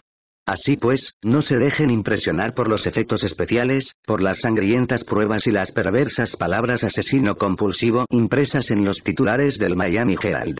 Recuerden el juramento que han prestado como jurados y, en fin, simplemente, no compren todavía las entradas para la película del Ministerio Fiscal. Tras esas palabras, Lourdes cayó y tomó asiento en la silenciosa y sorprendida sala, mientras su cliente le cogía la mano en señal de gratitud y derramaba una fingida lágrima de cocodrilo. Fue entonces cuando CJ comprendió que su caso se hallaba en serios apuros. Capítulo 73. Cielo santo, CJ. ¿Cómo es posible que no lo supierais? Tyler paseaba nerviosamente por su oficina llevándose las manos a la cabeza. Hemos quedado como una panda de novatos a los que les han bajado los pantalones en su primer juicio. Jerry, yo no lo sabía. Ellos rechazaron el intercambio previo. Creíamos que habíamos comprobado todos los extremos y ha resultado que no. Ese hombre ha tenido el coche dos días en el taller y resulta que una unidad especial, una unidad de detectives con amplia experiencia, no se ha enterado hasta que alguien les ha dicho que lo averiguarán. Tyler tenía el rostro como un tomate. CJ nunca lo había visto tan enfadado. El hecho de que lo tuviera en el taller antes de que lo interceptaran no significa que sea inocente. No cambia el hecho de que le encontraron un cadáver en el maletero. No, pero nos hace aparecer como unos fiscales sedientos de sangre que se saltan los deberes con tal de poner cara y nombre a un asesino compulsivo, para poder utilizarlo como chivo expiatorio ante el público. Nos hace parecer simples aficionados. Y no me gusta parecer aficionado, especialmente en año de elecciones. Yo me ocuparé de resolverlo, Jerry. Tengo una reunión dentro de diez minutos con los detectives Álvarez y Falconetti. Yo lo arreglaré. Eso espero, CJ, porque a ese tío ni los federales se atreverán a tocarlo a partir de ahora. Tom de la Flor se ha retirado los cargos nada más enterarse en las noticias.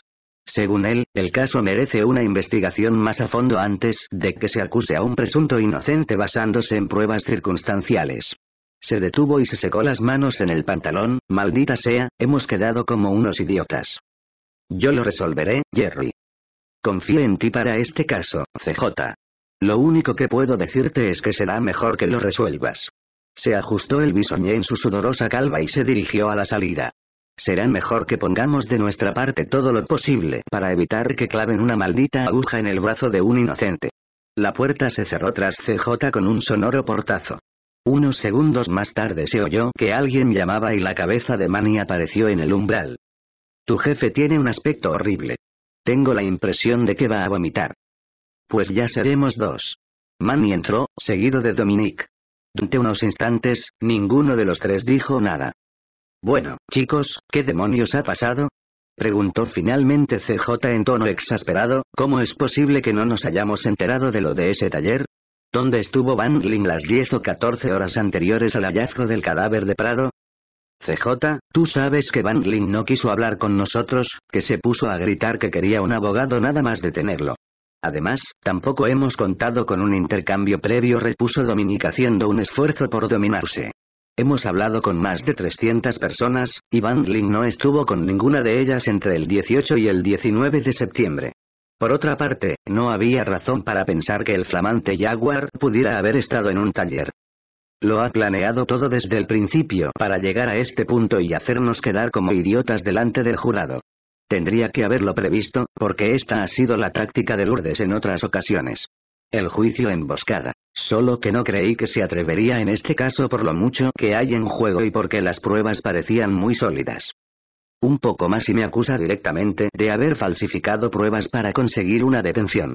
¿Cómo crees que me has sentado? Tronó Dominique. No eres la única que está dando el callo para mantener a ese tío entre rejas, ¿sabes? Manny intentó suavizar la situación todo lo posible con su mejor tono. Letrada, lo estamos comprobando todo, hablando con todos los talleres en un radio de 7 kilómetros. Pues que sean 10. Hemos de encontrar ese taller cueste lo que cueste y comprobar si alguien vio algo. Muy bien. 10. Vamos a repasar los testigos uno por uno, a cualquier asociado que pudiera tener en Miami. Será mejor que trabajéis deprisa, porque el juez Haskell está decidido a sacar el asunto adelante. Llega temprano por la mañana y se marcha tarde por la noche. No tenemos mucho tiempo. Bien, pues vamos a tener que esperar a ver lo que tiene cuando presente su caso, dijo Dominique. Para entonces ya será demasiado tarde. Si el jurado se convence de que no contamos con lo necesario y, lo que es peor, que hemos estado reteniendo información, entonces dejarán a Van Lin en libertad.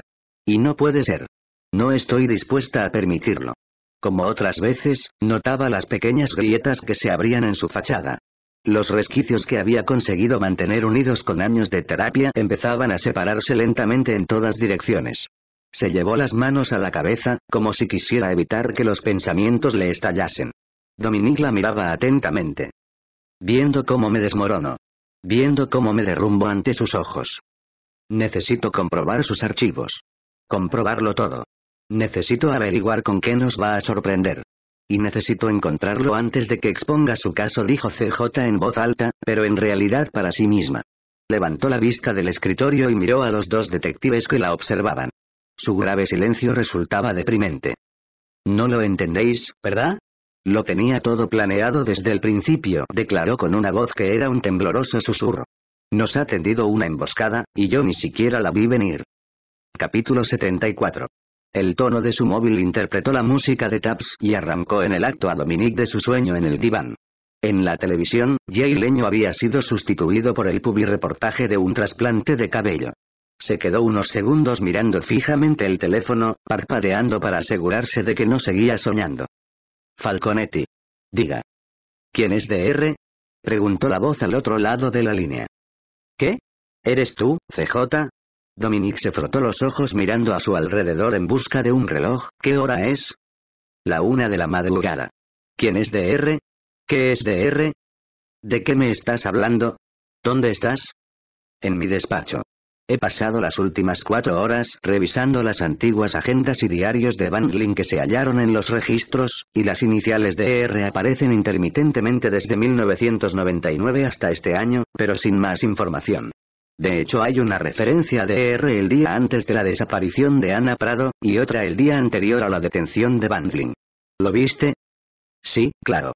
Revisamos esas agendas y entrevistamos a todos cuyos nombres coincidían con esas iniciales, pero no descubrimos nada.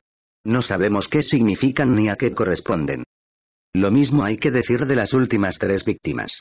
Hay una entrada con las iniciales de ER entre dos días y una semana antes de su desaparición. ¿Qué demonios quiere decir? Podría significar cualquier cosa. Podría no ser nada. No lo sé, ¿qué ocurre? Manny no está en casa. ¿Por qué lo mencionas?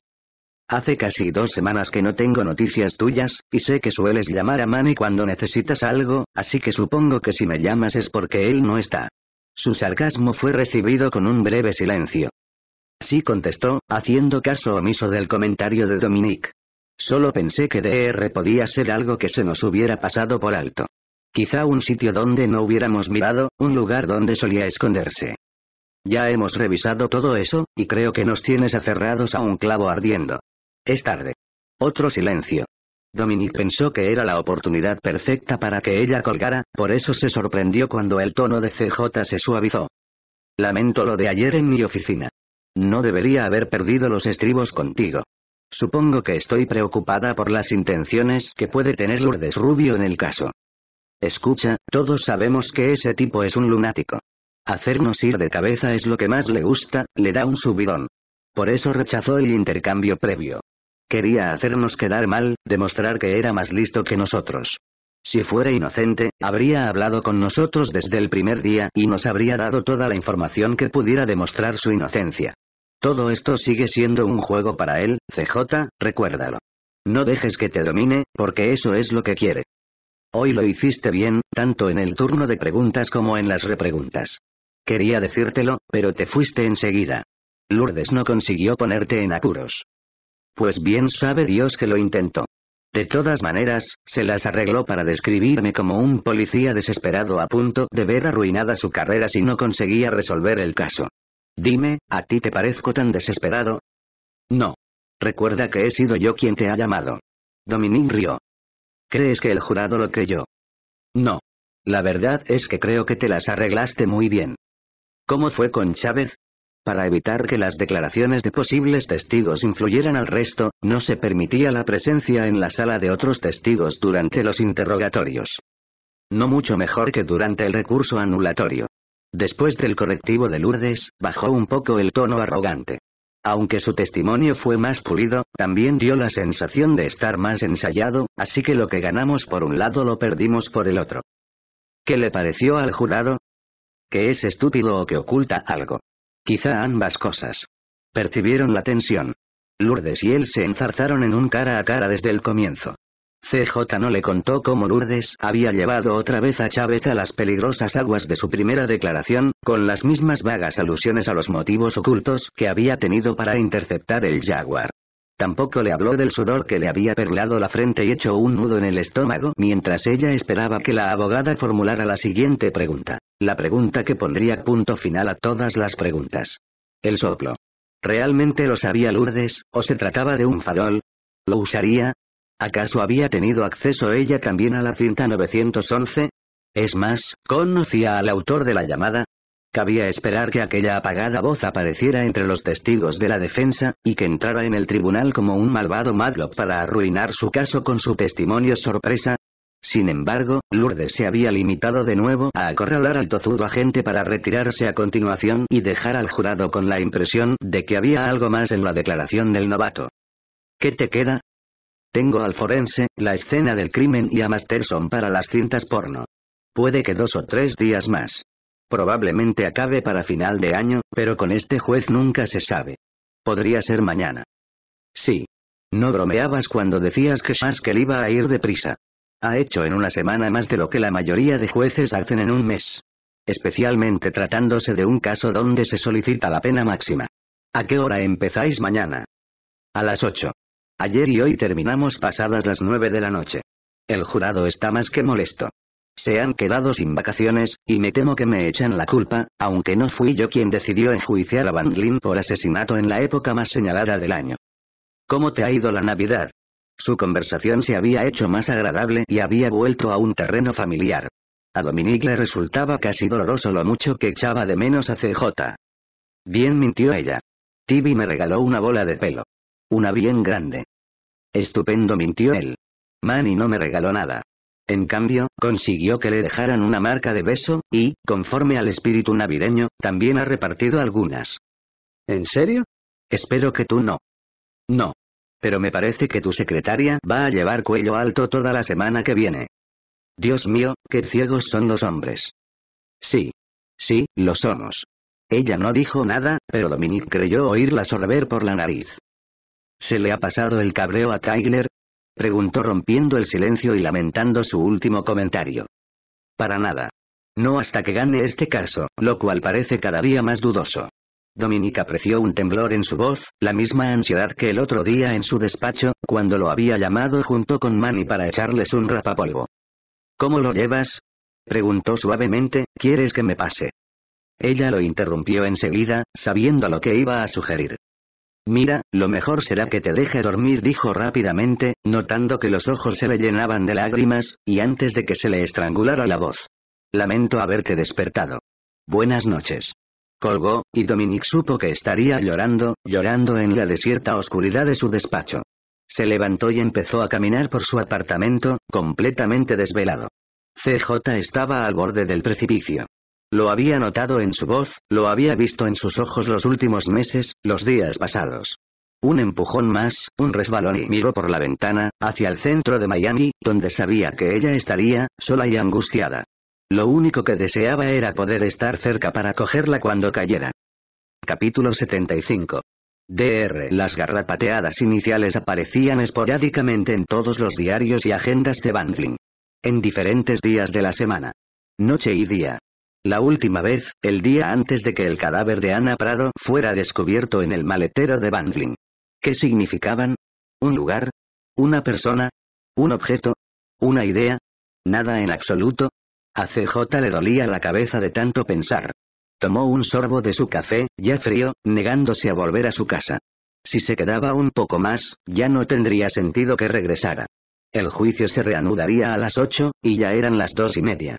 Tenía el escritorio literalmente cubierto de papeles provenientes de las cajas repletas de diarios, agendas, periódicos, asientos bancarios y recibos de impuestos hallados en los registros de la casa y coches de Bandling y los entregados por Tomitan. Todo lo que había que saber acerca de William Bandling se hallaba abierto como un libro ante sus ojos. CJ había examinado sus agendas y diarios, revisado sus citas de negocios, repasado sus declaraciones de impuestos y recibos. Sabía que habría quien la consideraría una obsesa que se dedicaba a perder el tiempo en un terreno demasiado trivial, demasiado familiar, y donde no había nada que encontrar, especialmente si se tenía en cuenta que eran los mismos que habían sido peinados por una tropa de expertos detectives. Aún así, tenía que seguir, seguir analizando cómo Bandling había sido capaz de vivir consigo mismo día tras día, llevando una vida normal. Quizá, solo quizá, a lo largo del camino a aquellos ojos tan experimentados se les había pasado algo por alto. CJ encontró la agenda particular de Bangling, la que había sido hallada junto a su planificador del día en la bolsa de viaje del asiento trasero del Jaguar, y empezó a hojear sus páginas. La gastada libreta negra estaba llena de direcciones, de tarjetas de presentación y fragmentos de servilletas donde habían sido anotadas apresuradamente señas y nombres. Empezó a leer las entradas individuales, estudiando cuidadosamente la escritura casi ilegible, buscando algo, lo que fuera. No sabía qué. Un experto calígrafo le había contado una vez que se podía distinguir entre un perturbado o un cuerdo simplemente mirando sus firmas. Se acordó entonces de sus palabras y se preguntó cuál habría sido su opinión al ver las anotaciones de aquella libreta. Había cientos de nombres, en algunos casos no más que un nombre y un número de teléfono, y en su mayoría eran de mujeres. De tantas que había tenía que haber anotado prácticamente los de todas las mujeres que había conocido. Reconoció algunos nombres de los informes de las entrevistas realizadas por la unidad especial, otros no le decían nada. Mientras leía las docenas y docenas de nombres, una escalofriante idea le cruzó por la mente y pasó las páginas frenéticamente hasta la letra L. Repasó la lista, pero no encontró el nombre de Larson. A continuación, repasó la letra C y sus ojos recorrieron frenéticamente las páginas esperando ver en aquella aberrante caligrafía. Para pasar un buen rato, Chloe Larson. Apartamento 1B, 202, 218 Rocky Hill Road, Bayside, Nueva York. Repasó una a una todas las anotaciones con el corazón en un puño, pero no estaba allí. Dejó escapar un largo suspiro. Sin embargo, la sensación de alivio fue breve, porque encontró otro nombre en la agenda de Bangling, un nombre escrito con aquella letra diminuta y apresurada que resultaba casi, casi ilegible. Un nombre que la pilló por sorpresa. Un nombre que nunca habría esperado. Uno que habría preferido no ver. G. Chambers. Almería Street, 22. Coral Gables, FL. Capítulo 76. Greg Chambers. ¿Por qué iba a figurar su nombre en la agenda de Bangling? ¿Acaso se conocían, o Bangling había encontrado el nombre de Chambers en alguna parte y lo había anotado como referencia psiquiátrica con vistas al futuro? CJ se levantó y caminó por su despacho con la mente hecha un torbellino. Si se conocían, ¿cómo era posible que Greg no se lo hubiera contado? Pero no, no cabía semejante posibilidad. Por lo tanto, había que asumir que Chambers no lo conocía, que ni siquiera sabía que figuraba en la agenda. Por otra parte, la libreta era evidentemente vieja, de modo que las anotaciones podían datar de años atrás. El vínculo debía referirse a algo de otro tiempo. Quizá eran remotos conocidos. Seguramente el propio Greg sería el primero en sorprenderse por figurar allí. Sin duda, tenía que ser eso. Sin embargo, mientras daba vueltas por su despacho intentando frenéticamente dar un sentido al vaivén de ideas que le daban vueltas en la cabeza, notó que los gélidos dedos de la paranoia le subían por la nuca y le aferraban el cerebro. Los sí. Empezaron a llamar a su puerta, reclamando su derecho a entrar. ¿Y si se conocían? ¿Y si eran amigos? ¿Y si eran algo más? Luchó contra la sensación de miedo paralizante. Contra el temor de que Van hubiera planeado esa sorpresa desde su celda. Contra el pánico a que las palabras que le había susurrado 12 años antes fueran a convertirse en realidad. Te estaré observando siempre, Chloe. Siempre.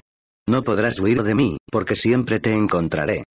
El terror de que pudiera estar en cualquier parte, vigilándola, dictándole hasta los pensamientos más irracionales. Contempló su escritorio cubierto de papeles, la taza de café rancio, las cortinas corridas del oscuro despacho iluminado únicamente por la lámpara de mesa y la pantalla del ordenador. Eran las 3 de la madrugada, y tenía que presentarse en el tribunal a las 8. Desde septiembre no había dormido más de cuatro horas por noche. Precipitas conclusiones. No estás pensando racionalmente. Este caso está acabando contigo, te está devorando viva, y tú se lo estás permitiendo. El estrés era un factor desencadenante en muchas enfermedades físicas o mentales. Sabía que había sido el catalizador de su anterior crisis nerviosa. Debía controlarlo antes de que escapara a su control, antes de que su vida escapara a su control. Sus relaciones, su carrera, todo se desmoronaba igual que antes. Todo volvía a repetirse. El paralelismo resultaba aterrador. Aplastó el último cigarrillo y recogió su maletín, guardando dentro la agenda. Llamó al vestíbulo, despertó al guardia de seguridad y se dirigió al ascensor. Necesitaba marcharse. Alejarse durante un rato. Tenía que pensar. Tenía que descansar, se dijo. Descansar antes de que la situación escapara a su control. Igual que la otra vez. Capítulo 77. Estelle estaba recogiendo sus efectos personales y metiéndolos en su bolso de paja, a punto para salir, cuando CJ golpeó en la ventanilla. Eran poco más de las siete de un jueves a solo tres días de Año Nuevo. Oh, señorita Townsend. exclamó, sorprendida, levantando la cabeza del bolso y llevándose una mano de brillantes uñas carmesí al pecho, me ha sobresaltado. No la había visto. Lo siento, Estelle. ¿Está el doctor Chambers? Sí dijo ella, en tono distraído, mientras pasaba las hojas del libro de visitas, pero en este momento está con un paciente. Miró a CJ con el entrecejo fruncido de visible preocupación. Lo siento, pero no la tengo apuntada para hoy. CJ se dio cuenta de que Estelle debía de estar deseando hacerle la pregunta del día. ¿Se encuentra bien? Tiene usted mal aspecto. Incluso el juez Haskell la había llamado al estrado para asegurarse de que se encontraba bien. El corrector de ojeras ya no podía disimular los negros cercos bajo sus ojos. Solo durante la semana anterior había perdido 5 kilos de su ya delgada figura, y profundas arrugas le surcaban la pálida frente. A todo el mundo le decía que se debía a la falta de sueño, porque no creía que la gente la comprendiera si contaba la verdad. Que cabía la posibilidad de que estuviera perdiendo la cordura otra vez. Solo faltan pocos días para el manicomio. Corran a comprar sus entradas. Sin embargo, Estelle trataba a diario con chiflados y sabía que no era buena idea hacer semejante pregunta. No tengo una cita, Estelle. Solo necesito ver un momento al doctor Chambers cuando acabe. Es muy importante. Él lo entenderá. Oh, de acuerdo, pero es que no me gusta interrumpirlo mientras está ocupado. Miró el reloj de la salita de espera. Además, tengo que irme. Mi marido me espera para cenar. No pasa nada, Estel. Esperaré a que acabe. Tengo que hablar con él esta misma noche. Ah. ¿Es por lo de ese caso que lleva? Preguntó con un hilo de voz. La veo a usted todas las noches en la televisión. La suya es la principal noticia de las once. Lo único que necesito es hablar con el doctor. Estel lo rumió unos instantes. Bueno, ustedes son amigos. Supongo que no le importará, ¿por qué no se sienta? Es el último paciente del día, y debería de haber acabado sobre las siete y media. Podrá abordarlo cuando salga. Está bien. Gracias, Estel. La secretaria recogió su bolso de paja y su chaqueta y salió a la sala de espera. Normalmente esperaría aquí, pero hoy hemos quedado con el jefe de Frank y su mujer. Bueno, ya sabe cómo son estas cosas. No podemos llegar tarde. No hay problema. Estelle se detuvo en la puerta y su voz se redujo de nuevo a un susurro. Señorita Townsend, ¿de verdad cree que fue él? No lo habría llevado ante los tribunales si no creyera que es culpable. Es más, Estelle, me consta que es culpable. De lo que ya no estoy tan segura es de que sea el asesino. Una nunca puede poner la mano en el fuego por la gente, ¿verdad? comentó Estelle meneando la cabeza. Buenas noches, señorita Townsend. No. No se puede, murmuró CJ mientras Estelle salía. Se quedó sentada unos minutos en la salita de espera, poniendo en orden sus pensamientos, pero con escasos resultados. Esa era la primera oportunidad que tenía de hablar con Greg Chambers desde su descubrimiento de la noche anterior. Se preguntó qué le diría, cómo se lo diría. Lo último que quería era parecer paranoica o frenética, aunque sospechaba que ese era precisamente su aspecto. Estelle se había olvidado de cerrarla con llave, y la puerta de la garita de recepción estaba ligeramente abierta. CJ se puso en pie y empezó a caminar nerviosamente por la salita mientras hojeaba un ejemplar de Entertainment Weekly en sus sudorosas manos. Se detuvo a la altura de la garita de Estelle y atisbó por el largo pasillo. La puerta de la consulta aparecía firmemente cerrada, como era costumbre cuando estaba con un paciente, para mantener en secreto los secretos. Miró la mesa de Estelle y vio abierto el libro de visitas que la secretaria había estado consultando cinco minutos antes. Un y sí. Volvió a gritar en su cabeza, exigiendo respuestas. Se acercó cautelosamente a la puerta entreabierta y se detuvo. No oía nada. La abrió un poco más. La consulta seguía cerrada. Miró el reloj de la salita. Eran las 7 y 22. Sin pensarlo dos veces, empujó la puerta y entró en el refugio de cordura de Estelle. El libro de visitas estaba abierto por las páginas de la semana que iba del lunes, 25, al viernes, 29 de diciembre. La última página del año 2000. Los dedos de CJ las acariciaron con vacilación.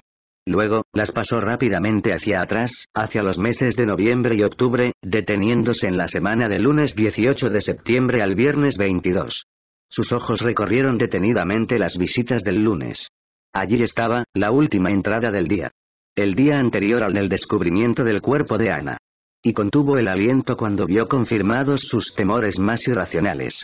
Anotada a lápiz, a las 7 de la noche, figuraba la cita de B. Pandling. Capítulo 78. Siguió pasando las hojas en busca de las fechas que había sacado de la agenda de Bandling la noche antes. Todas coincidían. Las mismas fechas. Las mismas horas. El mismo nombre. B. Bandling. No se trataba de ninguna coincidencia. DR estaba perfectamente claro. DR, doctor. Chambers era su médico. Chambers era el médico de Bandling. CJ se apartó del escritorio, se apartó del libro de visitas, se apartó de la verdad que había tenido ante sus ojos en todo momento. El cuarto empezó a darle vueltas y le entraron ganas de vomitar. ¿Qué significaba eso? ¿Cómo podía ser? Chambers los había tratado a los dos. Había tratado a su violador. ¿Cuánto tiempo hacía que llevaba haciéndolo? ¿Años? Los recuerdos giraron en su cerebro igual que una veleta en medio de un huracán. ¿Acaso había coincidido con Bandling anteriormente? Quizás se había sentado al lado de ella en la sala de espera mientras aguardaba el turno de ser recibido por el buen doctor. ¿Qué sabía Chambers? ¿Qué había compartido Bandling con él? ¿Qué sabía Bandling? ¿Qué había compartido Chambers con él? Las ideas que la noche anterior había descartado por irracionales y paranoicas acudieron en tropel a su mente, amenazando con bloquearla. El aire se le hizo pesado y le costó respirar. Aquello no podía estar sucediendo. Otra vez no.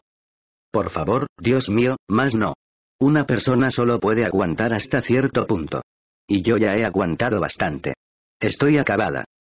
Tenía que marcharse. Tenía que pensar. Tropezó con la silla de Estel y la mandó rodando hasta que chocó con la pared y derribó un cuadro que se hizo añicos contra el suelo. Se dio la vuelta y salió a toda prisa, cogiendo su bolso al pasar por la sala de espera. Tras ella oyó el ruido de una puerta que se abría y una voz apagada que preguntaba, ¿Estel? ¿Qué demonios ha sido ese ruido? Pero ya no importaba. Abrió la pesada puerta de roble de la entrada y corrió por el camino de ladrillo rojo, dejando atrás los cuidados parterres de flores amarillas, rojas y blancas. Lejos de la bonita casa de estilo español de Almería Street, en el elegante barrio de Coral Gables. Lejos del amable y comprensivo doctor al que había acudido en busca de auxilio los últimos diez años de su vida para que la ayudara a afrontar la realidad de su existencia, en busca de guía y consejo, para que la ayudara a superar los miedos que la paralizaban. Y, sin embargo, ahí estaba, corriendo tan rápido como podía para escapar de todo ello. Alcanzó su jeep y salió a toda velocidad, esquivando a los furiosos ciclistas que habían aparecido de repente ante su vehículo. Desapareció por Almería Street, girando para tomar el Dolphin Expressway justo en el momento en que el Dr. Chambers se asomaba a la vacía salita de espera para averiguar la razón del alboroto. Capítulo 79. La primera incisión en la caja torácica se inició en el esternón, abriendo verticalmente la caja torácica, y se detuvo en el ombligo. El corte fue limpio, sin desgarros ni roturas de la piel. Joe Neilson sufrió una de sus convulsiones habituales, y el puntero tembló en su mano mientras ilustraba sus palabras con el maniquí de plástico ante el jurado. La segunda incisión prosiguió se hizo horizontalmente bajo los senos, comenzando bajo el pecho derecho y siguiendo lateralmente hasta el izquierdo. De nuevo, se trató de un único corte, limpio y sin desgarros. ¿Tiene alguna idea de qué tipo de utensilio pudo haber hecho esas incisiones? Preguntó CJ. Toda la sala estaba pendiente de las palabras, y en el tribunal reinaba un silencio absoluto. Sí. La tengo. Fue un escalpelo. Las incisiones fueron profundas. Llegaron hasta el hueso, atravesando tres capas. Piel, tejido adiposo y músculos. No hay rastros de desgarros ni roturas. El escalpelo del número 5 que fue hallado en casa del acusado fue examinado y su filo comparado con los cortes hechos en el pecho de Ana Prado. Tanto la anchura como la profundidad de las incisiones correspondían. Eran idénticas. Había dos ampliaciones fotográficas dispuestas en un caballete al lado del maniquí. Una correspondía al escalpelo hallado en casa de Bandling, ampliado 50 veces. La otra era de la cavidad torácica de Ana Prado, ampliada otras tantas. Tras las incisiones, el esternón, el hueso que soporta la caja torácica y protege los pulmones y el corazón, fue partido y abierto en dos. ¿Tiene alguna idea de qué tipo de herramienta fue utilizada para romperlo? No. Probablemente una cizalla. ¿Estaba Ana Prado viva en esos momentos? Sí. La muerte sobreviene cuando el corazón deja de latir. Cuando eso sucede, cesan otras funciones corporales, incluyendo la respiración, y el cuerpo permanece exactamente como estaba en el momento en que expiró. Eso es lo que nos permite averiguar qué fue lo último que comió la víctima y cuándo, qué tipo de toxinas había en su cuerpo, en su torrente sanguíneo y en su hígado. Cuando le rompieron el esternón a Ana Prado, sus pulmones debieron de quedar expuestos al aire y la presión exteriores, lo cual debió de provocar su colapso. Sin el aporte de aire de los pulmones, el oxígeno debió de dejar de acudir al corazón y al cerebro, y la muerte por asfixia debió de producirse al cabo de unos cinco minutos. Sin embargo, en la autopsia de Ana Prado se halló aire en sus pulmones, por lo que sabemos que la muerte no le sobrevino por asfixia. Y sí, estaba viva cuando. Un gemido resonó en la sala, seguido de un sollozo. Era la madre de Ana Prado, que lloraba sin control acompañada por sus familiares. Monstruo. Monstruo. Gritaba. Orden en la sala. Ordenó un encolerizado juez Shaskel. Hank, por favor, acompañe fuera a la señora Prado hasta que acabe este testimonio. Lo lamento, señora Prado, pero no puedo permitir semejantes estallidos en mi sala. Me ha quitado a mi hija. Gritaba la mujer mientras miembros de su familia la acompañaban fuera ante la mirada del jurado, ese hijo de puta me la arrebató y la destritó, y ahora está ahí, sonriente. Las puertas se cerraron tras los alaridos. El jurado no tendrá en cuenta tales comentarios, advirtió severamente el juez mientras Lourdes se levantaba para protestar. Los doce miembros del jurado se volvieron para mirar a un visiblemente molesto William Vandeling, que meneaba la cabeza con el rostro entre las manos. Un incómodo silencio se apoderó del tribunal, a medida que los gritos de la madre de Ana Prado se desvanecían por el pasillo camino de los ascensores. De acuerdo, señorita Townsend.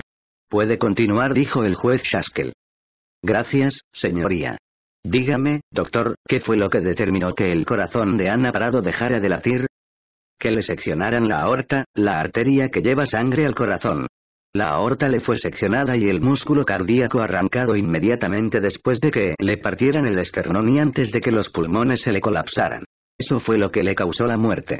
El puntero se movió hacia otra gran foto de una Ana Prado, cenicienta y desnuda, yaciendo en una camilla metálica del laboratorio forense, con un gran agujero negro donde tendría que haber estado el corazón. Estaba consciente en esos momentos, Resulta imposible responder con seguridad, aunque, tal como he declarado, el microbarón hallado en su cuerpo no le había hecho perder el conocimiento, sino que simplemente le había causado una parálisis. Sin embargo, sus efectos relajantes sobre los músculos del esqueleto probablemente contribuyeron a evitar que el cuerpo entrara en estado de choque, que es su defensa natural cuando es atacado. Por lo tanto, yo diría que sí, que existe una clara posibilidad de que se hallara consciente cuando le arrancaron el corazón. Un murmullo colectivo recorrió el tribunal como una ola. Gracias, doctor Neilson, no tengo más preguntas. Muy bien, dijo el juez Shaskel, ¿desea la defensa interpelar? Solo unas pocas preguntas, señoría. Doctor, usted ha declarado que las incisiones del cuerpo de Ana Prado se corresponden con el filo de un escalpelo número 5, ¿cierto? Sí, y podría corresponderse con el de cualquier escalpelo número 5, no necesariamente con el hallado en casa del señor Van Sí. Con cualquiera del número 5. Y los escalpelos del número 5 no son algo excepcional, sino algo bastante común, especialmente en taxidermia y cirugía, ¿no es cierto? No puedo decirlo en el caso de la taxidermia, pero sí lo son en la profesión médica. Se pueden adquirir en cualquier establecimiento de suministros clínicos. Gracias, doctor. Lourdes cruzó el estrado hacia su asiento. Luego se volvió. O dijo como si hubiera olvidado algo, ¿y quién fue la persona que le proporcionó este escalpelo, la presunta arma del crimen? ¿Qué detective fue? El agente Dominic Falconetti, del Departamento de Policía de Florida. Ah. Respondió con aire pensativo, al tiempo que se sentaba. No tengo más preguntas, señoría. ¿Tiene algo más que preguntar el Ministerio Fiscal? Preguntó el juez Shaskel. Eran las seis y diez de la tarde del viernes, 29 de diciembre. El último día laborable del año 2000. CJ había entrado en el tribunal por la mañana con la realidad llena de fisuras y grietas, amenazando desmoronarse, con nuevas arrugas de preocupación surcándole la frente y los ojos hundidos tras las ojeras de otra noche en vela. Lo había hecho porque no había nada más que pudiera hacer y porque no admitía la posibilidad de ceder su derecho a otro equipo. Al igual que el turno de preguntas de Lourdes, todo se había convertido en insinuaciones y todos se hallaban bajo sospecha. Las respuestas llevaban a más preguntas. Los absolutos resultaban equívocos, y nada era real ya. No había certezas. Ya no tenía control sobre nada ni nadie, ni en su vida personal ni en su vida profesional.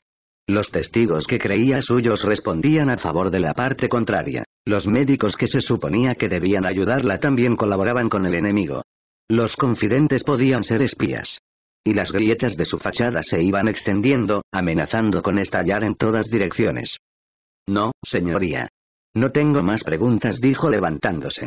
Joe Neilson había sido su último testigo, y había rubricado su caso con una dolorosa y vivida descripción de los últimos y torturados momentos de la vida de Ana Prado. El Ministerio Fiscal no tiene más que añadir. CJ se volvió y miró a Bangling, que se hallaba sentado al lado de Lourdes Rubio. Tenía el rostro sombríamente enterrado entre las manos y meneaba la cabeza. Pero solo entonces CJ vio por qué. Era porque estaba riendo. Capítulo 80. ¿Has intentado llamarla, Don? preguntó Manny.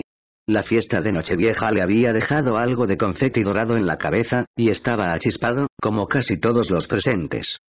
Sí, y solo me sale el contestador. Estoy empezando a preocuparme, Manny. Lo sé, amigo.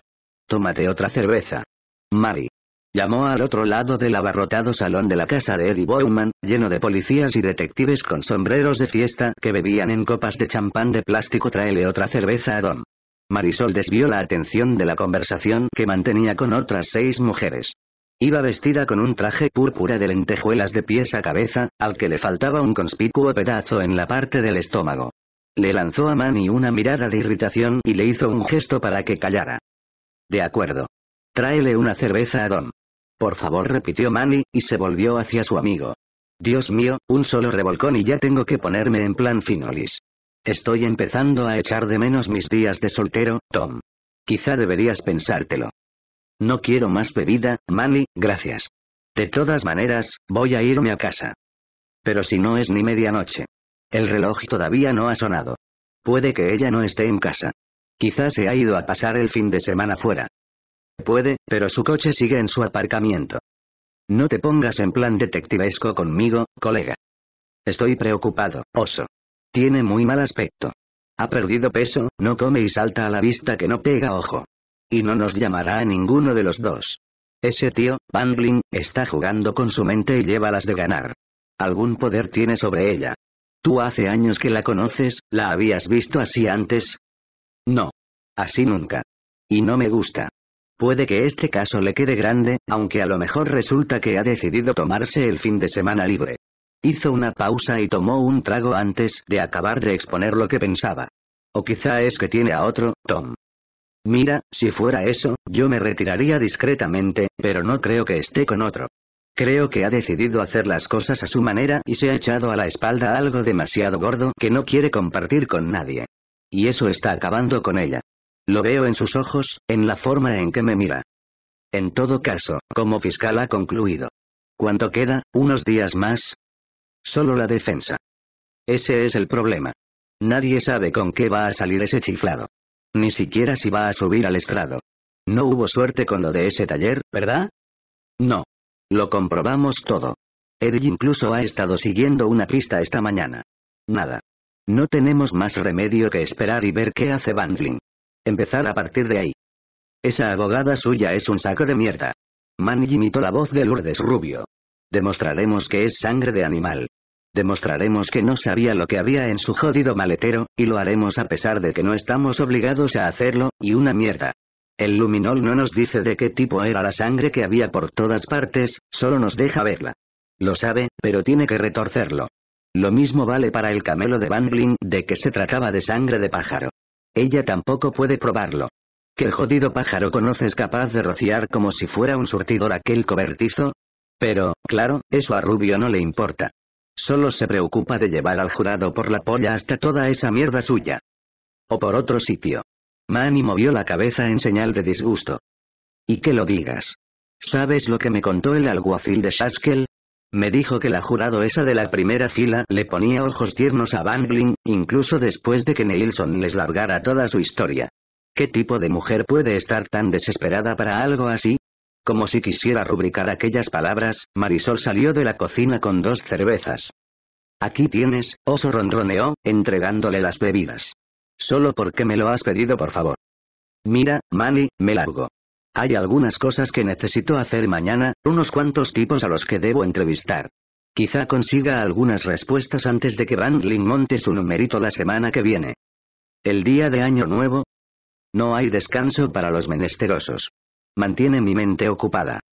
Llame la mañana, colega. Insiste. Está todo a punto de acabar. ¿Llamar a quién?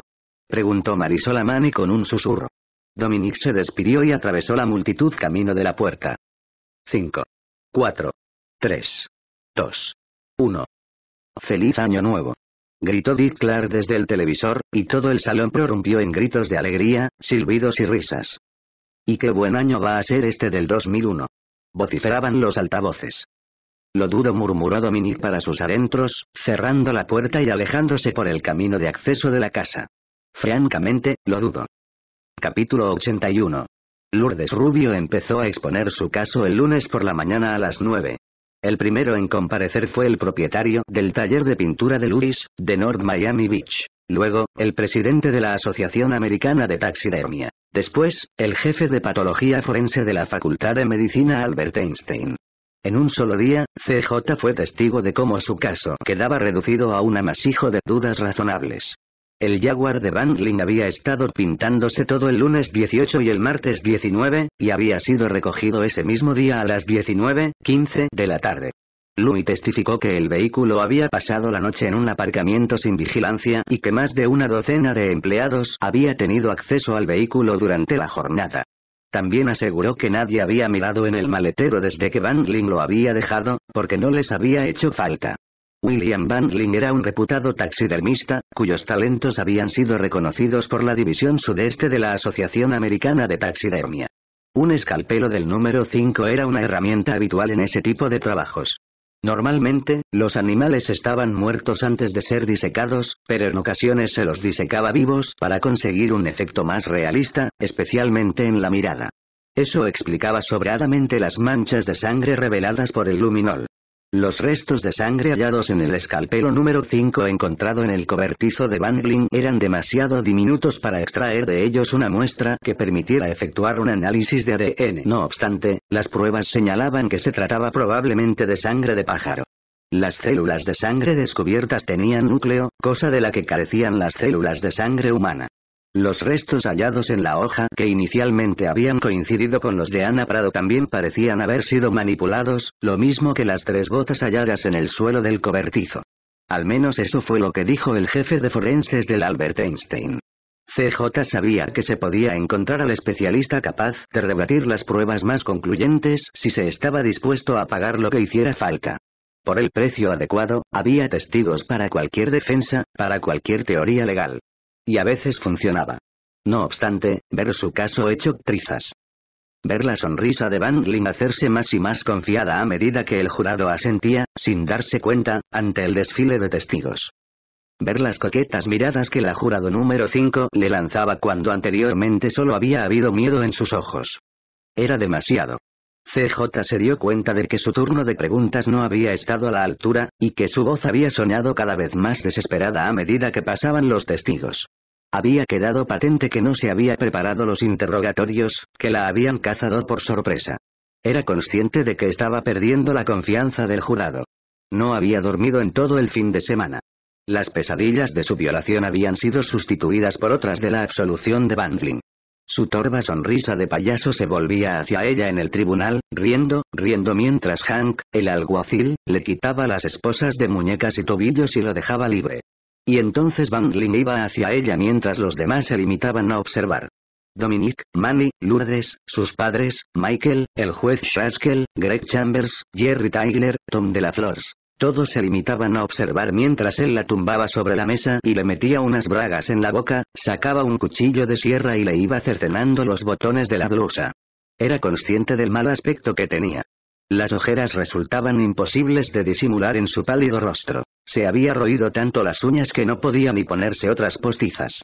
Los vestidos le colgaban de los huesos como si fuera el maniquí de una tienda de ropa usada. Consigue pasar el día de hoy, y mañana será seguramente mejor, se repetía continuamente, a pesar de saber que no era cierto.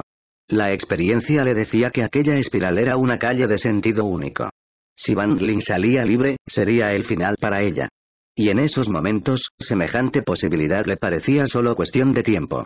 A las seis menos cuarto, el juez Haskell dejó marchar al jurado. Señorita Rubio, dígame cuántos testigos más piensa llamar para que pueda hacerme una idea del tiempo de que disponemos. Dos o tres más, señoría. ¿Su cliente pretende declarar? Todavía no puedo contestar a eso, señoría. No lo sé. Bien. En caso de que decida hacerlo, ¿cree usted que habrá terminado mañana por la noche? Sí, señoría. Aunque, naturalmente, eso depende del turno de preguntas del Ministerio Fiscal, contestó Lourdes mirando a CJ. Vayamos sobre la marcha, señoría, dijo CJ en tono fatigado. Ignoro cuánto tardaré en formular mis preguntas. Seguramente necesitaré algo de tiempo para prepararme si el acusado decide declarar, y en ese caso seguramente me expulsarán de la carrera, señoría, y podrán dejar entrar a los tipos de la bata blanca. Lo entiendo. Llevamos un buen ritmo. Me gustaría escuchar sus alegatos finales el jueves. A menos, claro está, que usted necesite más tiempo, señorita Townsend, y quiera una sesión más el viernes por la mañana. Eso nos permitiría dejar que el jurado deliberara el resto del día y tendríamos un rápido veredicto antes del fin de semana. Antes del fin de semana. Y todo habrá acabado. Así de fácil. Para el fin de semana. Justo a tiempo para la final de los Dolphins y el Festival de Arte de Coconut Grove. El fin de semana, y el destino habría quedado sentenciado para siempre. Capítulo 82. Estaba sentada en su despacho, con las cortinas corridas, naturalmente. El sonido de las noticias de Channel 7 apenas resultaba audible en su televisor portátil. Una inútil montaña de papeles llenaba su escritorio, junto con un cuenco de sopa fría y su quinta taza de café. Obviamente, el juicio de Cupido era la historia de cabecera en las noticias de las seis y media, seguida de un reportaje sobre una compañía de inversiones que había estafado millones a cientos de jubilados de South Florida y un breve acerca de la desaparición de una estudiante de Fort Lauderdale quejada de epilepsia. Odiaba volver a casa. Odiaba quedarse en el despacho. No tenía escapatoria, y ese era el problema. Al menos hasta el fin de semana. Y el fin de semana todo habría terminado. Alguien llamó, y, antes de que pudiera responder, la puerta se abrió lentamente. Esperaba ver aparecer a un iracundo Jerry Tyler, incluso a un preocupado Dominic Falconetti o a Manny Álvarez. Desde luego a quien no esperaba ver era un sonriente, Greg Chambers. ¿Puedo entrar? Preguntó entrando de todos modos al tiempo que echaba un vistazo al despacho. CJ se embaró y meneó la cabeza, pero curiosamente no pudo encontrar su voz a tiempo, y él se le sentó delante. ¿Cómo está? preguntó frunciendo el entrecejo con inquietud. Acabo de llegar de un simposio sobre agresiones sexuales y he pensado en venir a verla. No ha asistido a sus dos últimas citas y, con toda la presión que está soportando, estaba preocupado por usted. Estoy bien. Estoy bien, respondió. Creo que será mejor que se marche, fue todo lo que pudo contestar. No tiene buen aspecto, CJ. Parece encontrarse mal. La he visto en televisión y me preocupa de verdad. ¿Que está preocupado por mí? ¿Por mí? Apenas podía contener su furia, su confusión y su dolor. ¿Acudía usted en busca de ayuda, Greg, doctor Chambers? Confíe en usted como médico, como médico, y usted ha estado jugando conmigo todo el tiempo. Una expresión de ofensa y sorpresa cruzó por el rostro de Chambers. ¿De qué está hablando, CJ? Yo estuve allí. Estuve en su consulta. Gritó. Sí. Estelle me dijo que estuvo la semana pasada, dijo Chambers a la defensiva, con la confusión pintada todavía en la cara. Pero ya se había marchado cuando yo salí. Son precisamente ese tipo de comportamientos los que me inquietan. CJ lo interrumpió sin miramientos, con la voz ahogada por el llanto, un llanto que no podía contener. Y lo vi. Lo vi. Ante mis ojos. En su consulta, en su libro de visitas. ¿Estuvo usted husmeando en mi libro de visitas? ¿Cómo pudo? Usted también lo trata a él. A Bangling, a ese hijo de puta. Lo ha tratado todo este tiempo, y no me ha dicho nada. Sabía desde el principio que él me había violado y, aún así, jugó conmigo como con una idiota. La sorprendida expresión del Dr. Chambers se ensombreció ante aquella acusación. No sabía nada de eso. Escuche, CJ, es cierto que trato a Billy Bandling y, pero no dijo nada. ¿Cómo es posible que se lo callara? ¿Cómo puede ser que no me lo dijera? CJ, no tengo por qué darle explicaciones, pero en nombre de nuestra vieja relación le diré cuatro cosas. Por nuestra amistad. A pesar de que se esforzó por contenerlo, el enfado asomó en su voz a medida que hablaba, y CJ se sintió de repente pequeña e insegura. Siendo fiscal, tiene que estar usted al tanto de que no puedo divulgar que estoy tratando a alguien. El simple hecho de que una persona sea paciente mía convierte esa relación en algo privilegiado y confidencial. Y yo, por mi parte, no divulgaré nunca esa información por nada o por nadie sin el consentimiento de mi paciente, salvo que se produzca un conflicto, y no es este el caso. Nunca. Hice un juramento. Nunca supe que existía una conexión entre ambos hasta que usted acudió a mí y me contó que el sujeto detenido como sospechoso por el caso Cupido era el hombre que la había violado. Y en ese momento mi relación con el señor Bangling quedó interrumpida por su detención.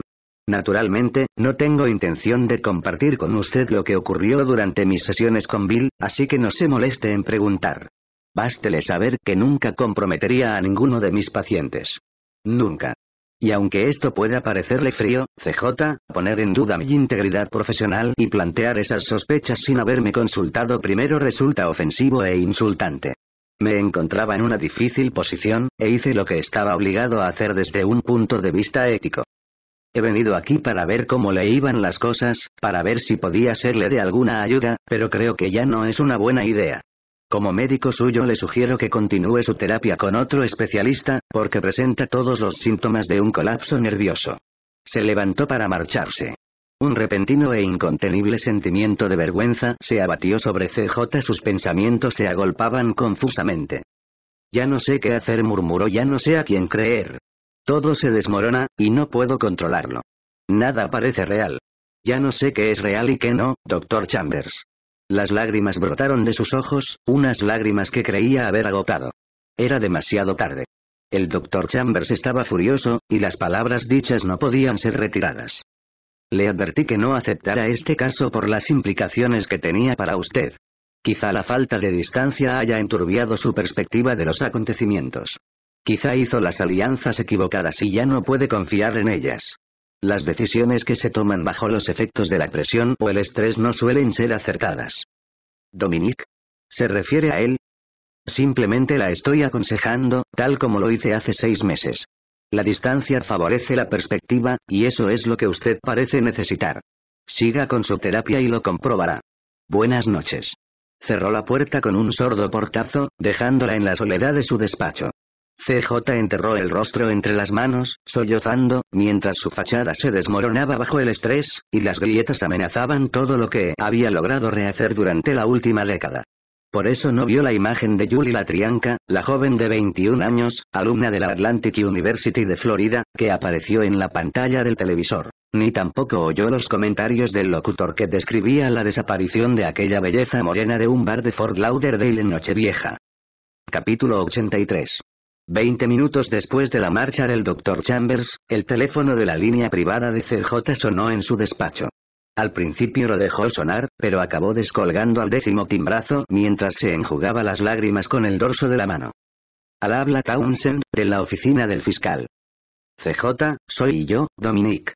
Al fondo pudo escuchar sirenas de la policía, muchas, mezcladas con un griterío de voces. Escucha, Dominique, no es un buen momento. Te volveré a llamar. No. No me volverás a llamar, y el momento no puede ser mejor. Créeme. Los hemos encontrado, y tienes que venir. ¿Qué? ¿De qué estás hablando? Me encuentro en una casa remolque en Cayo Largo, justo al lado de la carretera US-1.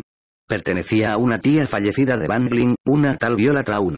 Hemos encontrado los corazones. Los hemos encontrado todos guardaditos en un congelador. También hemos encontrado fotos, CJ, cientos de fotos de todas las víctimas tomadas contra un fondo oscuro, mientras estaban siendo torturadas en esa camilla de acero, algunas mientras eran asesinadas. Auténtico material snuff.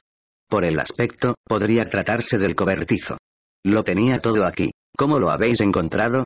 El corazón le latía alocadamente, presa de una mezcla de alivio, nerviosismo, miedo y pánico. Demasiadas emociones que le sobrecargaban los circuitos. Encontré una citación para Bandling firmada por un juez de Monroe County, expedida hace solo un par de semanas. Por eso no la habíamos visto. Se trata de una citación por incomparecencia. Bandling era el custodio de las propiedades de su tía en vida y, según parece, dejó de presentar alguna mierda de papeleo contable en los 60 días después de su muerte. Por eso el juez extendió la citación, supongo que sin saber que se trataba del mismo William Vandeling que estaba siendo juzgado en Miami. Descubrí lo de la casa y fui con Mandy. El dueño del parque de remolques nos dejó entrar. Menudo sitio. Las fotos estaban en el congelador, junto con los corazones. No te preocupes, legalmente está todo en orden, porque el remolque iba a ser precintado por impago del terreno.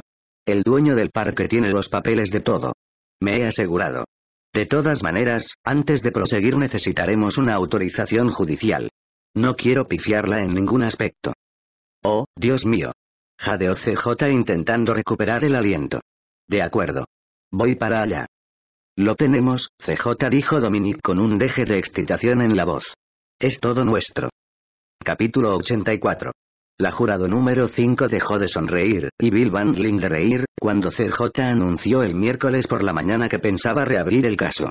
A mediodía, después de que el agente especial Dominic Falconetti subiera al estrado y prestara declaración durante dos horas, ninguno de los miembros del jurado se atrevió a mirar a Bangling, y un ambiente palpablemente glacial se apoderó de la sala. Al final de la declaración, dos miembros del jurado varones habían roto a llorar y dos mujeres habían vomitado tras haber contemplado el corazón de Ana Prado, conservado en una bolsa transparente de pruebas, seguido de las escalofriantes imágenes halladas en el congelador de Viola Traun incluyendo a la miembro del jurado número 5, que probablemente se había visto retratada en una de esas imágenes de los trofeos de Bandling. La madre de Ana Prado había tenido que ser escoltada de nuevo fuera de la sala, hecha un mar de lágrimas y en pleno ataque de histeria. En esa ocasión, el juez Haskell decidió sombríamente suspender la sesión para almorzar. La tortilla había dado la vuelta. Durante la pausa para comer, Dominic acusó a William Rupert Bandling de otros 10 cargos de asesinato en primer grado y presentó en la cárcel del condado 10 formularios más de detención como precaución en el improbable caso de que el jurado declarara inocente al acusado.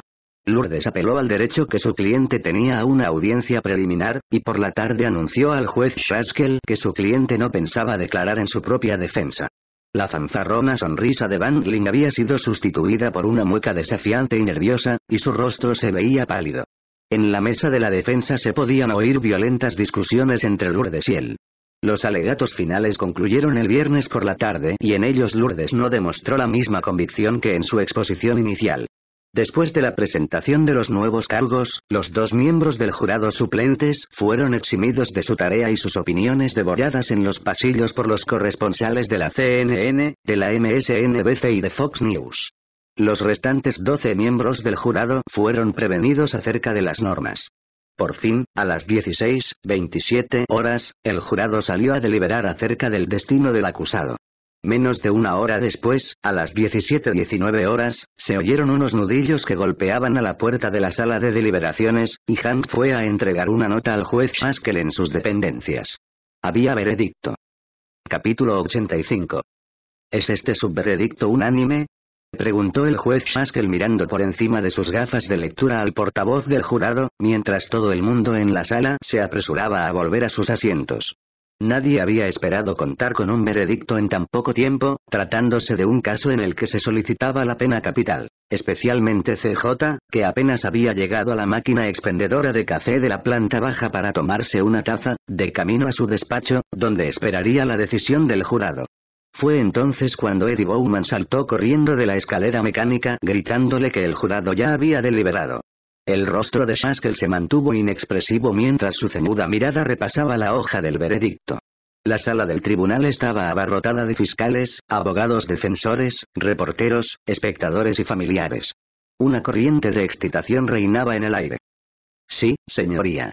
Lo es, contestó ansiosamente el portavoz, un basurero de Miami Beach de unos 40 años que se esforzaba en lo posible para hacer caso omiso de las cámaras y micrófonos que estaban pendientes de su más mínimo aliento, registrando sus más insignificantes tics. Pequeñas gotas de sudor le perlaban el labio superior, y se las enjugó con el dorso de la mano. Muy bien, puede sentarse. Que el acusado se ponga en pie, el juez dobló la hoja con el veredicto y se la entregó a Janine, la secretaria del tribunal.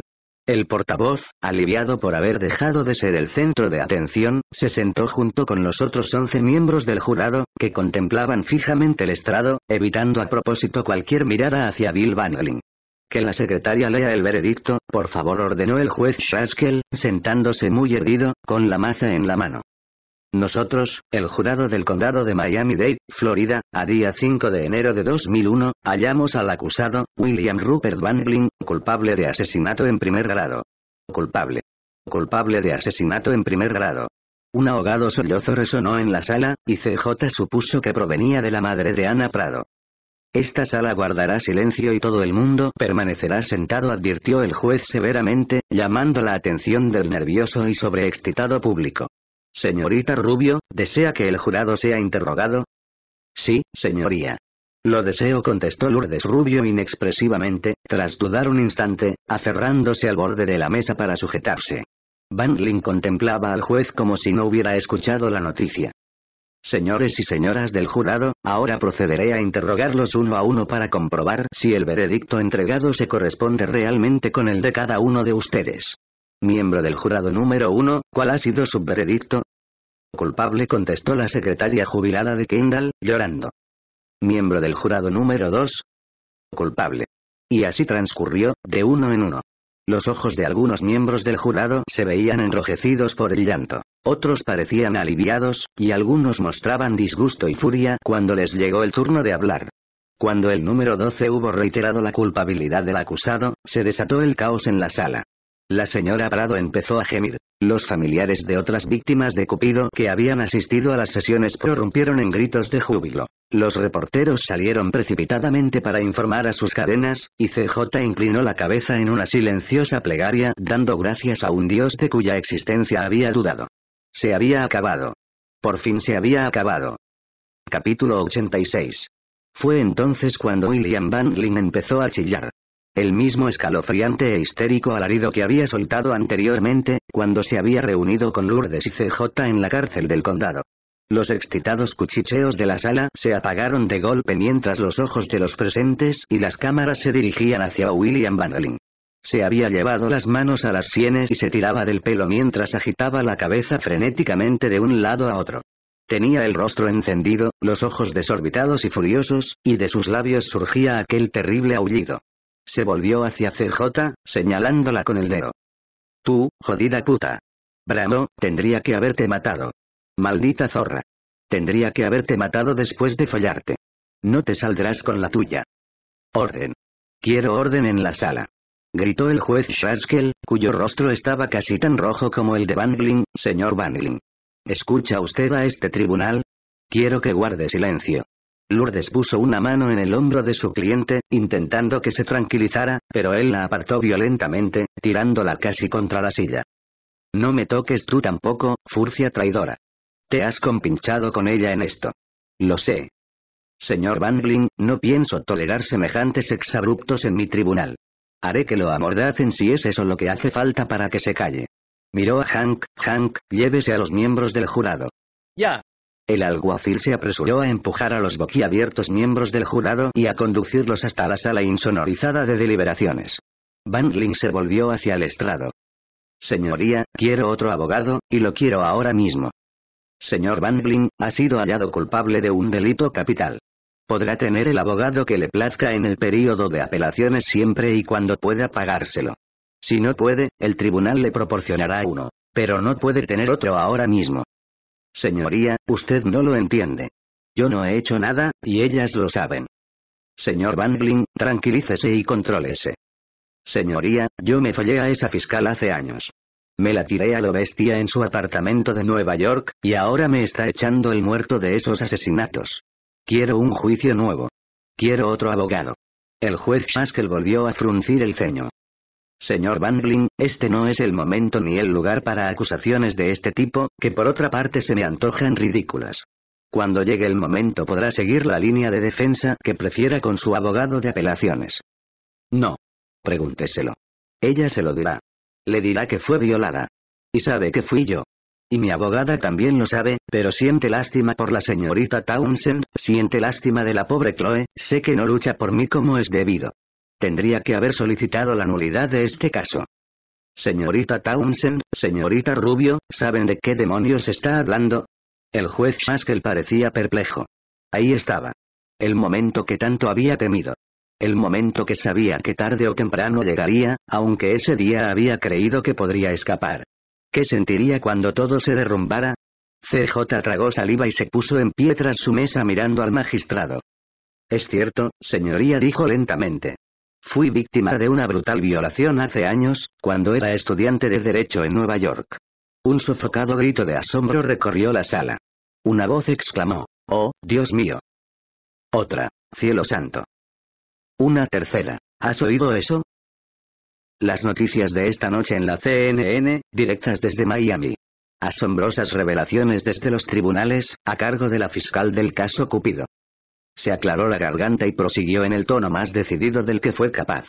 Según parece, señoría, el acusado ha tenido acceso a una información reservada a través de antiguos informes de la policía e investigaciones de los archivos, que le han permitido saber que mi agresor nunca fue capturado.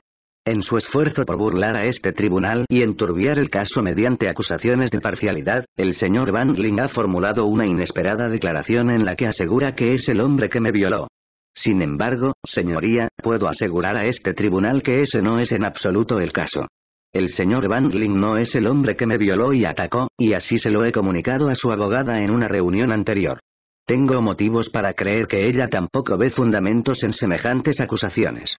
El juez Haskell las miró con perplejidad desde el estrado. No le gustaba que lo hubieran puesto en semejante posición, no después de haber conducido lo que le parecía un juicio impecable, a prueba de cualquier apelación. ¿Y cómo es que me entero ahora por primera vez de todo este lío? Miró a Lourdes Rubio. Señorita Rubio, ¿qué tiene que decir la defensa en este asunto? Lourdes Rubio se levantó y miró directamente al juez, sin desviar en ningún momento los ojos hacia CJ. Señoría, he hablado con mi cliente y he leído los informes de la policía referentes a la agresión sufrida por la señorita Townsend. También he hablado con ella. Hizo una breve pausa y prosiguió. Creo que las acusaciones de mi cliente carecen de base, y no las respaldo.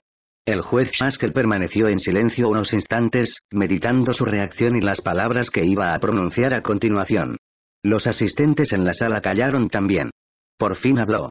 Aunque sonaba sincero, sus palabras parecieron escogidas pensando en el informe del tribunal. Señorita Townsend, lamento que hoy se haya visto forzada a desvelar ante este tribunal un asunto tan privado, y solo me cabe confiar en que la prensa que se halla presente y que dispone de esta información sepa tratarla con el tacto y discreción que merece. Todo eso no es más que una jodida mierda. Van Ling empujó violentamente la mesa de la defensa con ambas manos, haciendo saltar por los aires los papeles de Lourdes Rubio, ¿acaso van a matarme porque esa puta mentirosa les da pena? Tres agentes de vigilancia penitenciaria lo agarraron por detrás, aferrándole brazos y piernas al tiempo que forcejeaba con ellos. Mientras lo esposaban de pies y manos, Van Ling lanzó una mirada de odio desatado hacia CJ, echando espumarajos por la boca. El juez Haskell alzó la voz hasta casi gritar. Puede usted decidir la estrategia que prefiera con sus abogados de apelación. Por el momento, el asunto se da por concluido. Amordácelo, Hank. Eres una maldita zorra embustera, Chloe. Esto no se ha acabado. No se ha acabado. Vociferó Van Luego, quedó reducido al silencio cuando el alguacil le puso la mordaza. Capítulo 87. No pudo volver a casa. De algún modo, la prensa había descubierto su celosamente guardada dirección y se encontraba acampada en Port Royal, esperando a que regresara. Sin duda habían sobornado debidamente al vigilante de la entrada para que los dejara pasar, incluyendo las llamativas furgonetas azules de Channel 7. Por lo tanto, se quedó en su despacho hasta las diez y media de la noche, llamando a los hoteles para encontrar una habitación donde pasar unos días, hasta que la prensa se cansara y sacara sus furgonetas del aparcamiento, hasta que se llevara sus micrófonos de la puerta de su casa. Ni siquiera lo vio, de pie, en la sombra del umbral, hasta que él la llamó por su nombre. CJ. Ella levantó la vista, esperando encontrar al fiscal del estado, pero en su lugar vio a Dominique. Hola fue todo lo que pudo articular. Dominique había estado en la sala durante la lectura del veredicto. ¿Qué haces? La verdad es que estoy buscando un sitio para pasar unos días.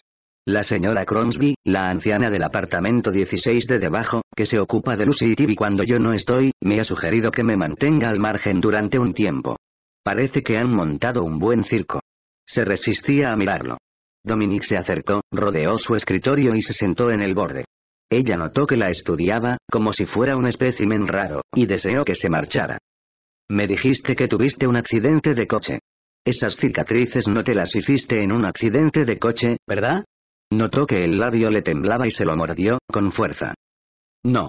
No lo son. ¿Por qué no me lo contaste? Porque no quería que lo supieras. Porque no quería que nadie lo supiera. Y ahora no me dirás que no es irónico que la historia de mi violación figure en las portadas de todo el mundo, que la estén traduciendo a no sé cuántos idiomas mientras charlamos. Se pasó los dedos por el cabello y descansó la cabeza entre las manos. No quería que lo supieras. Eso es todo. ¿Crees que las cosas habrían ido de modo diferente entre tú y yo si lo hubiera sabido? ¿Es eso? Dominique, no necesito tu compasión. De verdad. No es compasión, CJ. Estaba seguro de que era algo más. ¿De verdad me crees tan superficial?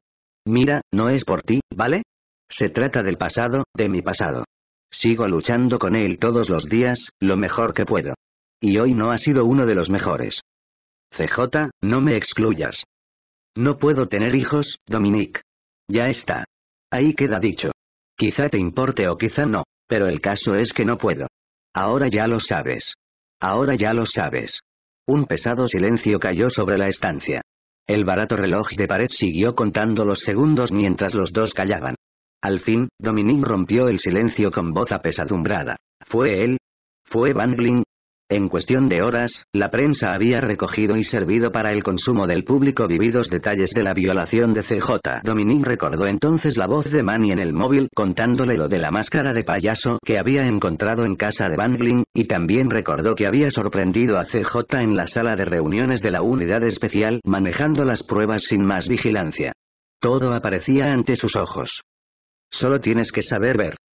Ella sopesó la pregunta durante unos largos segundos y notó que las lágrimas le acudían a los ojos y le rodaban como un río caliente por las mejillas. Pero no había forma de detenerlas. Lo miró a la cara, directamente a sus inquisidores ojos castaños, y cuando finalmente habló, su voz, apenas un susurro, sonó resignada. No. No.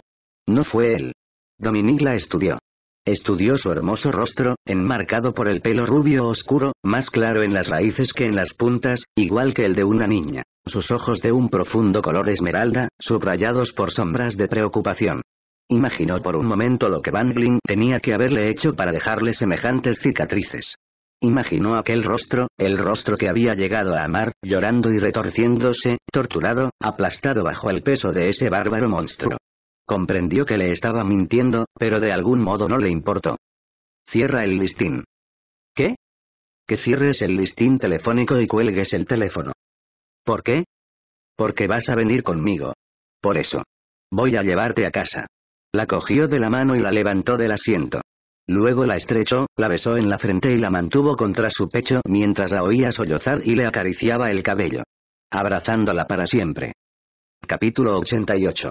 La historia de Cupido pasó a la segunda página de los periódicos al cabo de unos cuantos días, y una semana después ni siquiera se mencionaba en las noticias, ya que la prensa había desviado su atención para refocilarse con otro trágico asesinato, un incendio o una inundación. Inicialmente, las portadas se llenaron de dolorosos detalles de la violación de CJ, y las especulaciones acerca de su posible móvil y su desquite ocuparon las cabeceras. Sin embargo, la marea de la opinión pública se apoderó de los editoriales y el derecho a la intimidad de las víctimas de violaciones se convirtió en tema de debate, y la prensa, en el malo de la película. CJ se tomó unos días libres para reflexionar, reponerse y permitir que los diarios perdieran interés en ella.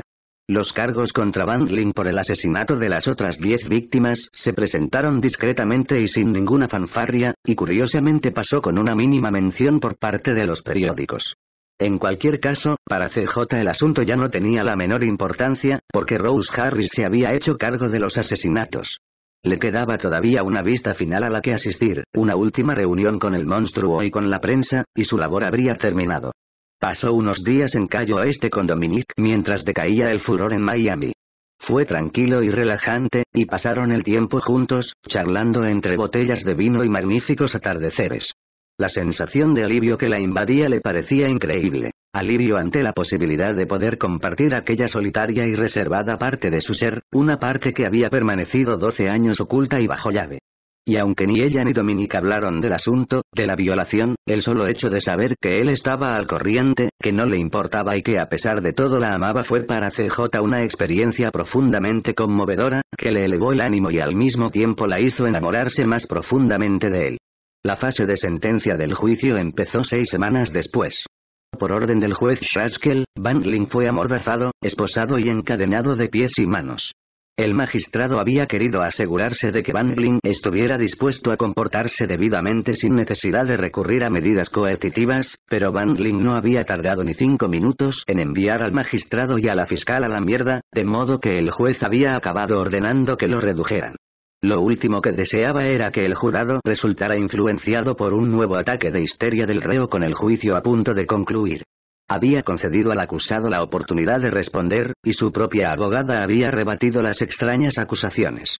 Que fuera el Tribunal de Apelaciones del Distrito Tercero quien se ocupara de atender sus delirios. Una vez el jurado hubiera decidido la sentencia, sería problema de esa instancia superior, no de él. En un caso de pena capital, la fase de sentencia era como un juicio en miniatura, donde ambas partes podían aportar testimonios, aunque la culpabilidad no pudiera ser puesta en duda. La cuestión se reducía a si el reo debía morir o no como consecuencia de sus crímenes.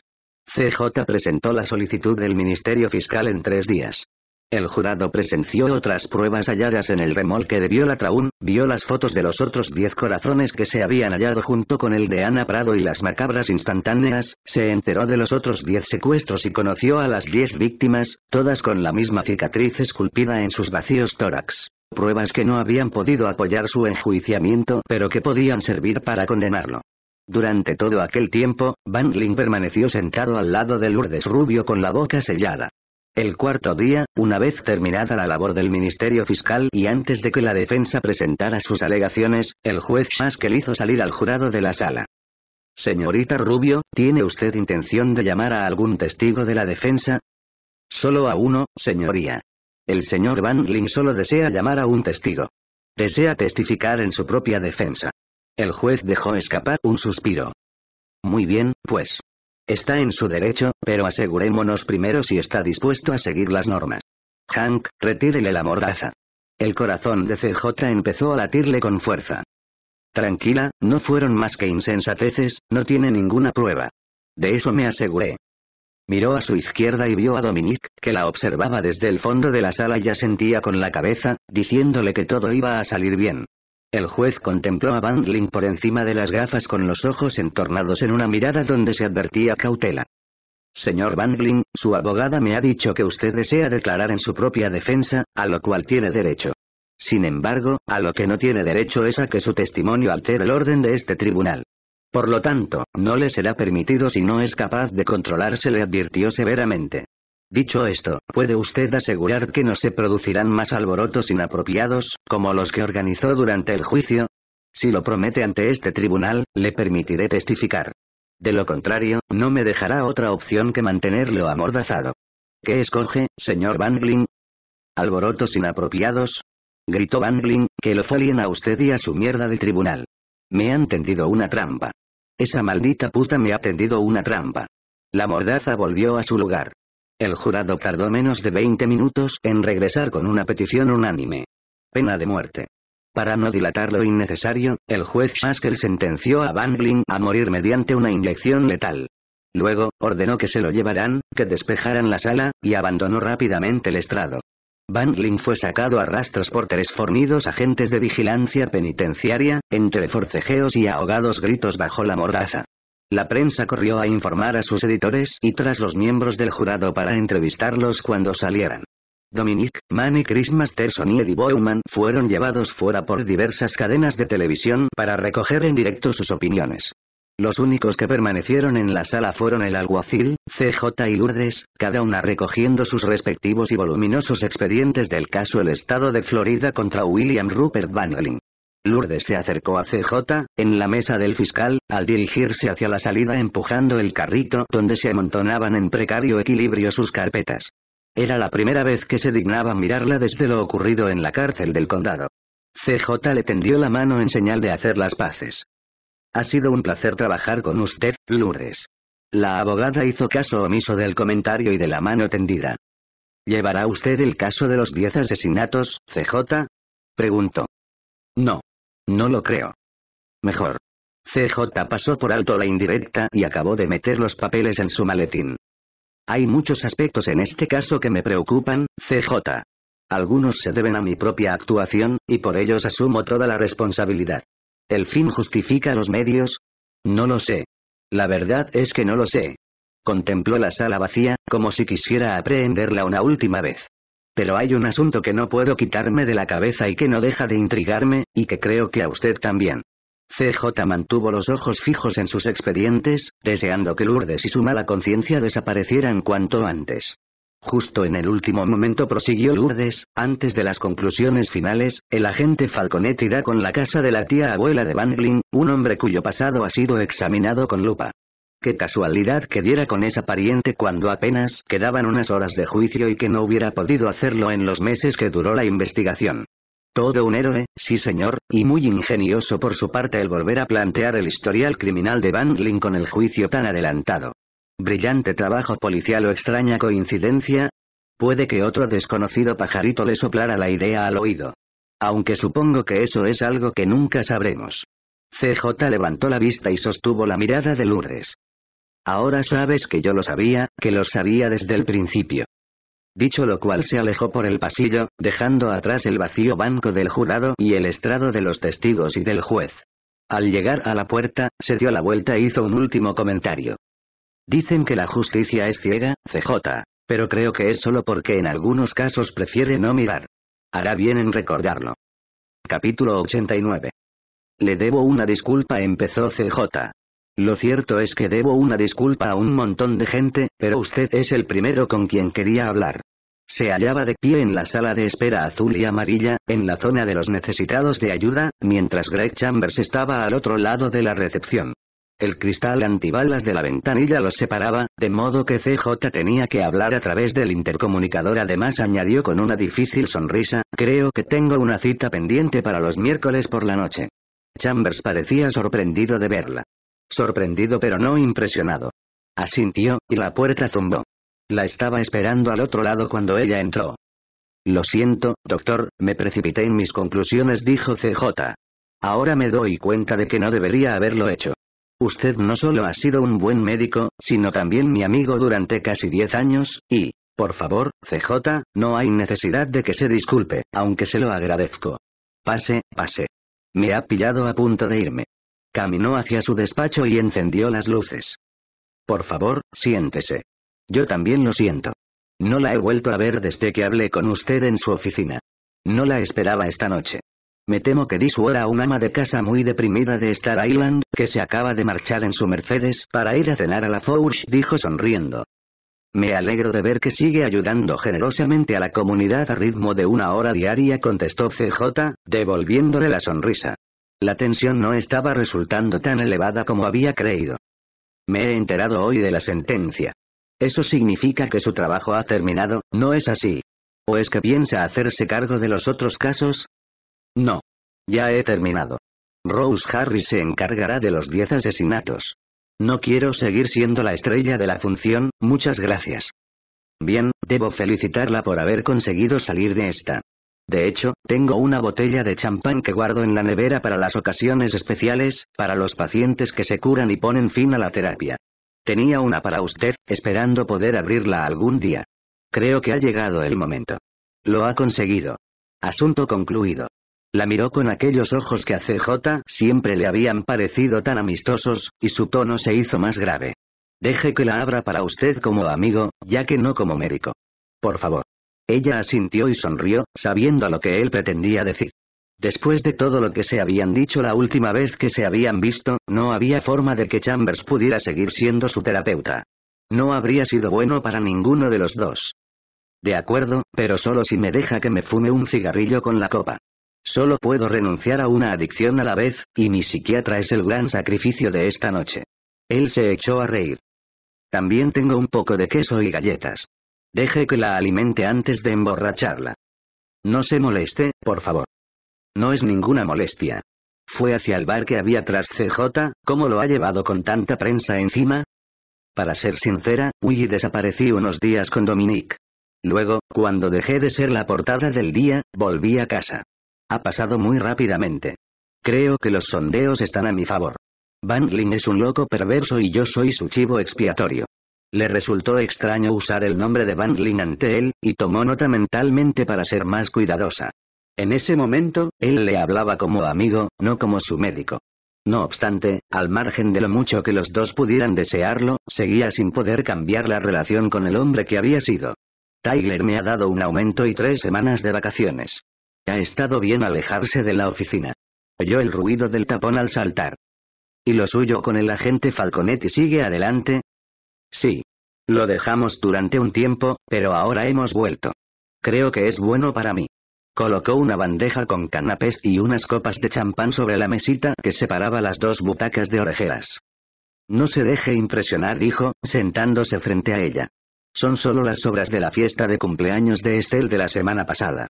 En cuanto a Dominique, por decirlo de alguna manera, consiguió darle la vuelta al caso, ¿no es así? Sí. Es un formidable investigador. Al final encontró los trofeos. ¿Y las fotos? ¡Qué horror! Creo que es de las peores cosas que he visto. Ya me lo imagino. Cuando pienso en cuál habría podido ser el resultado si Dominique no las hubiera encontrado. O si no hubiera sabido dónde buscar. Me alegro de haber hablado con él después de aquel simposio. De otro modo, nunca habría tenido la más mínima sospecha. ¿Sospecha? ¿Sobre qué? Una inexplicable inquietud se apoderó de ella. ¿Sobre dónde mirar? Fui yo quien le dije que repasara el historial de crímenes, porque nunca se sabe lo que se puede encontrar. ¿Un poco de champán? La mente de CJ se convirtió en un torbellino de preguntas. Preguntas cuya respuesta no estaba segura de querer conocer. Se acordó de las palabras de despedida de Lourdes Rubio en la sala del tribunal. Lamento lo que le dije la otra noche, comentó cambiando de asunto para ganar tiempo y poder controlar los pensamientos que acudían sin freno a su mente. Estaba como en estado de choque. El caso se me escapaba de las manos. Supongo que dije cosas que no tendría que haber dicho. Se encontraba sometida a mucha presión. Sí. Lo estaba. Chambers le hizo un gesto hacia la botella, para que se sirviera más. Pero ella no pudo quitarse de encima el escalofrío, la sensación de que algo iba realmente mal. Confío en que usted pueda comprender mi posición, CJ. Le dijo. Espero que entienda que Bill Bandling ha sido paciente mío. Y que pueda hacerse cargo de la difícil posición en la que me pone ahora. CJ negó con la cabeza mientras sacaba la botella de champán de la preciosa cubitera de cristal de Bohemia, en cuyo fondo yacía algo rojo rodeado de hielo. La difícil posición en la que me pone prosiguió, porque lo único que quiero es joderla a usted y a todos de una vez para siempre. Un grito resonó en la quietud de la consulta, rebotando en las paredes una y otra vez, y Chambers siguió observándola, sentado cómodamente en la butaca de orejeras, con las piernas tranquilamente cruzadas y una sonrisa de diversión en el rostro. El horror tardó unos segundos en hacerse presente ante los ojos de CJ, hasta que su cerebro comprendió lo incomprensible y amenazó con colapsarse ante la impresión antes de que cayera por fin en la cuenta de que aquella cosa roja y oscura que contemplaba no era sino un corazón humano, y que el grito que no dejaba de escuchar no era más que el suyo. Capítulo 90. CJ sujetaba todavía la botella de champán cuando él saltó de su butaca, empujándola hacia atrás y derribándola con estruendo. La puerta. Sal de aquí. Corrió tan deprisa como pudo hacia la puerta cerrada, mientras notaba la mano de Chambers que la agarraba por el faldón de la chaqueta, tirando de ella. Se dio la vuelta y descargó la botella contra su rostro con todas sus fuerzas. Pero Chambers fue rápido y con el brazo derecho bloqueó el golpe. CJ lo oyó gruñir cuando la botella lo alcanzó en el antebrazo. El vidrio se hizo añicos, y el champán salió volando en todas direcciones. Intentó alcanzar la puerta de nuevo, pero volvió a notar los dedos de Chambers tirando de ella. Se retorció como pudo, quitándose la chaqueta y dejándola tras ella. Alcanzó el picaporte y abrió la puerta, lanzándose por el pasillo hasta la oscura garita de recepción de Estelle. Casi había llegado a la sala de espera cuando Chambers se le echó encima y notó su aliento en el oído y sus manos aferrándola por los hombros. Los dedos le resbalaron del pomo de la puerta y cayó violentamente hacia atrás, sobre las baldosas mexicanas.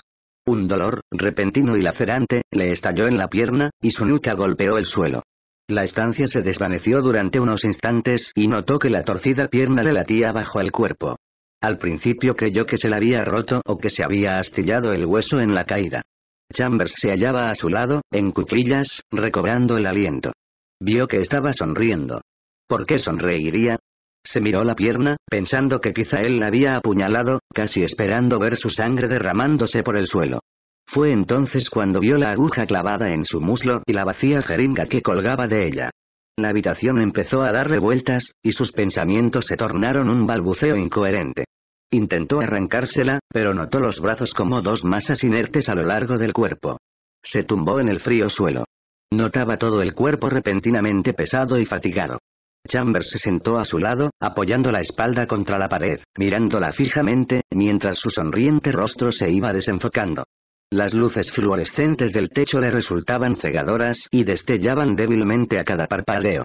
Intentó decir algo, pero no consiguió articular palabra. Notaba la lengua torpe y espesa. Lo último que oyó fue música de Bach sonando en el despacho de Estelle. Música clásica. Música para apaciguar a los locos. Entonces todo quedó sumido en la negrura. Capítulo 91. Abrió los ojos lentamente, esperando ver encima de ella los cegadores fluorescentes. Sin embargo, solo se vio a sí misma. La imagen de su cuerpo vestido con su traje verde oliva, tumbado en la camilla de acero, con las manos atadas a los lados y las piernas inmovilizadas. Parpadeó y se dio cuenta de que se trataba de un espejo. Se encontraba tumbada de espaldas mirando al espejo del techo. Rodeando el cristal estaban los brillantes fluorescentes que había esperado ver y que iluminaban una estancia totalmente pintada de negro. A pesar de que no alcanzaba a ver detrás, por lo que llegaba a distinguir, el lugar era de dimensiones reducidas, de unos 3 metros por 4. Tampoco divisaba ninguna ventana. Enfrente de la camilla había una cámara instalada en un trípode. El aleluya de Mozart sonaba en alguna parte. Notaba el cuerpo entumecido, y sus extremidades, disociadas del torso. Pensó en mover un dedo y no estuvo segura de haberlo logrado. Carecía de percepción sensorial. Cerró los párpados lentamente y los volvió a abrir, y cada vez sus ojos tuvieron que esforzarse en enfocar de nuevo la visión. Su cabello olía a champán. Intentó hablar, pero tenía la lengua inerte, y las palabras que le salieron fueron un confuso farfulleo, como si no tuviera lengua. Ladeó la cabeza hacia la derecha y vio a Chambers de pie en un rincón, dándole la espalda. Tarareaba.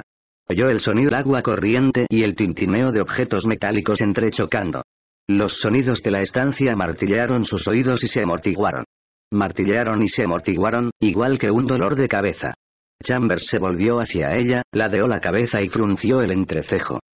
Debe de tener una alta tolerancia, CJ. No esperaba verla despierta hasta dentro de varias horas. Ella intentó hablar de nuevo, pero solo consiguió que le saliera un balbuceo incoherente. Tras él vio un carrito con ruedas. En él, sobre un inmaculado tapete, los afilados instrumentos brillaban bajo el resplandor de los fluorescentes. Entonces reparó en las cizallas. Quizás se le estén pasando los efectos. No importa. Está usted aquí. Eso es lo que cuenta. ¿Cómo se encuentra? Le enfocó los ojos con una linterna de bolsillo, y ella notó que los párpados luchaban por cerrarse. Supongo que no demasiado bien. No se moleste en hablar, porque no puedo entenderla. Le desató una ligadura de un brazo y le buscó el pulso en la muñeca vaya. Debería estar dormida. Prácticamente debería estar en coma. Sin embargo, tiene el pulso disparado. Es usted toda una luchadora, ¿no? Le soltó el brazo, y este cayó inerte en la camilla con un golpe sordo. CJ vio entonces que el médico tenía el brazo vendado y recordó la botella de champán. No luche. No se resista. Eso acelera el ritmo cardíaco y la fuerza del torrente sanguíneo, y al final resulta un verdadero engorro. No es que no me apetezca bañarme en su sangre, pero hay que tener en cuenta que luego hay que limpiar. CJ se esforzó por mover la cabeza. Ahora lo entiende, ¿verdad? Por fin lo ha comprendido. Sonrió mientras la contemplaba, mientras ella iba empapándose del espanto y el horror que le brindaba, y vio que se esforzaba por comprender a través de la neblina de las drogas. Ahora no irá a creer que tengo intención de revelarle la receta secreta de la familia, que voy a proporcionarle una detallada confesión de última hora para que todo quede claro, porque no pienso hacerlo. Hay algunas preguntas que la acompañarán a la tumba. Suspiró y le acarició el cabello. Bastará que le diga que soy un caballero y que los caballeros las prefieren rubias. Así ha sido desde el primer momento en que la conocí, CJ, hace diez años. Desde entonces la he llevado en el pensamiento. A la hermosa CJ. A la extraordinaria fiscal que se esforzaba por no parecer tan bella, a la que luchaba por vivir un día más y que cargaba con un siniestro secreto cuya carga decidió compartir con una sola persona.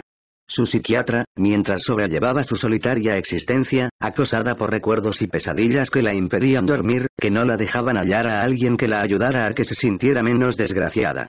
Un diagnóstico de estrés postraumático es lo que corresponde en este caso. Eso y una depresión clínica en los momentos clave, como Navidad y el día de San Valentín. ¿Le suena, CJ? Es un buen resumen de las cosas. Veamos, ¿cuántas horas de terapia a 75 dólares la hora, incluyendo el descuento de la policía? ¿Durante cuántos años? Y todo para resumirla en unas pocas frases. Siguió acariciándole el cabello, apartándoselo del hermoso rostro. Se inclinó acercando su cara a la de ella, examinándola con aquellos ojos que en otro tiempo ella había creído compasivos y que en ese momento demostraban piedad y puede que un atisbo de desprecio. Voy a hacer que se sienta realmente bien consigo misma, CJ le susurró al oído. Nunca ha estado tan enferma. Al menos no más que la mayoría. No más que cualquier ama de casa de Star Island, aburrida del lujo de su existencia. Usted se dio cuenta de que su vida era un desastre y tuvo la mala suerte de escogerme a mí para que la remediara. Se incorporó, y ella vio que sacaba una jeringa y un pequeño frasco del bolsillo. Le he prometido que no la aburriría con una confesión de medianoche acerca de mis miserables hazañas. Pero debo decirle que usted y Bill eran unos casos perfectos para ser estudiados. Un soberbio tema para una tesis. La víctima de una violación y su violador. ¿Qué ocurriría si se cambiaban las tornas? ¿Y si la perseguida se convertía en perseguidora? ¿Qué camino tomaría si se le presentaba la oportunidad, el ético o el justo? ¿Hasta dónde estaría dispuesta a llegar para desquitarse? ¿Y qué implicaría eso? ¿Cuánto debería pagar el pobre Billy por sus delitos pasionales? ¿Sería su vida pago suficiente?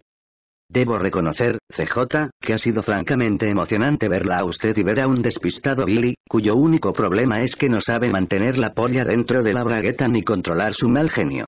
Chambers se movió hacia el estómago de CJ al tiempo que llenaba la jeringa de un líquido transparente. Mientras usted dormía vi el trabajo que hizo en su cuerpo. Estaba usted en lo cierto. Fue una barbaridad, realmente dijo torciendo la boca con disgusto. Y luego tener que soportar verlo a él y a su ego convencidos de que se iban a librar, subestimándola todo el tiempo. Reconozco que estuve tentado de permitir que quedara en libertad y conservar mis pequeños trofeos, todos ellos y ver qué haría usted el día en que le abrieran la celda y le dieran cinco pavos para que tomara el autobús de vuelta a casa.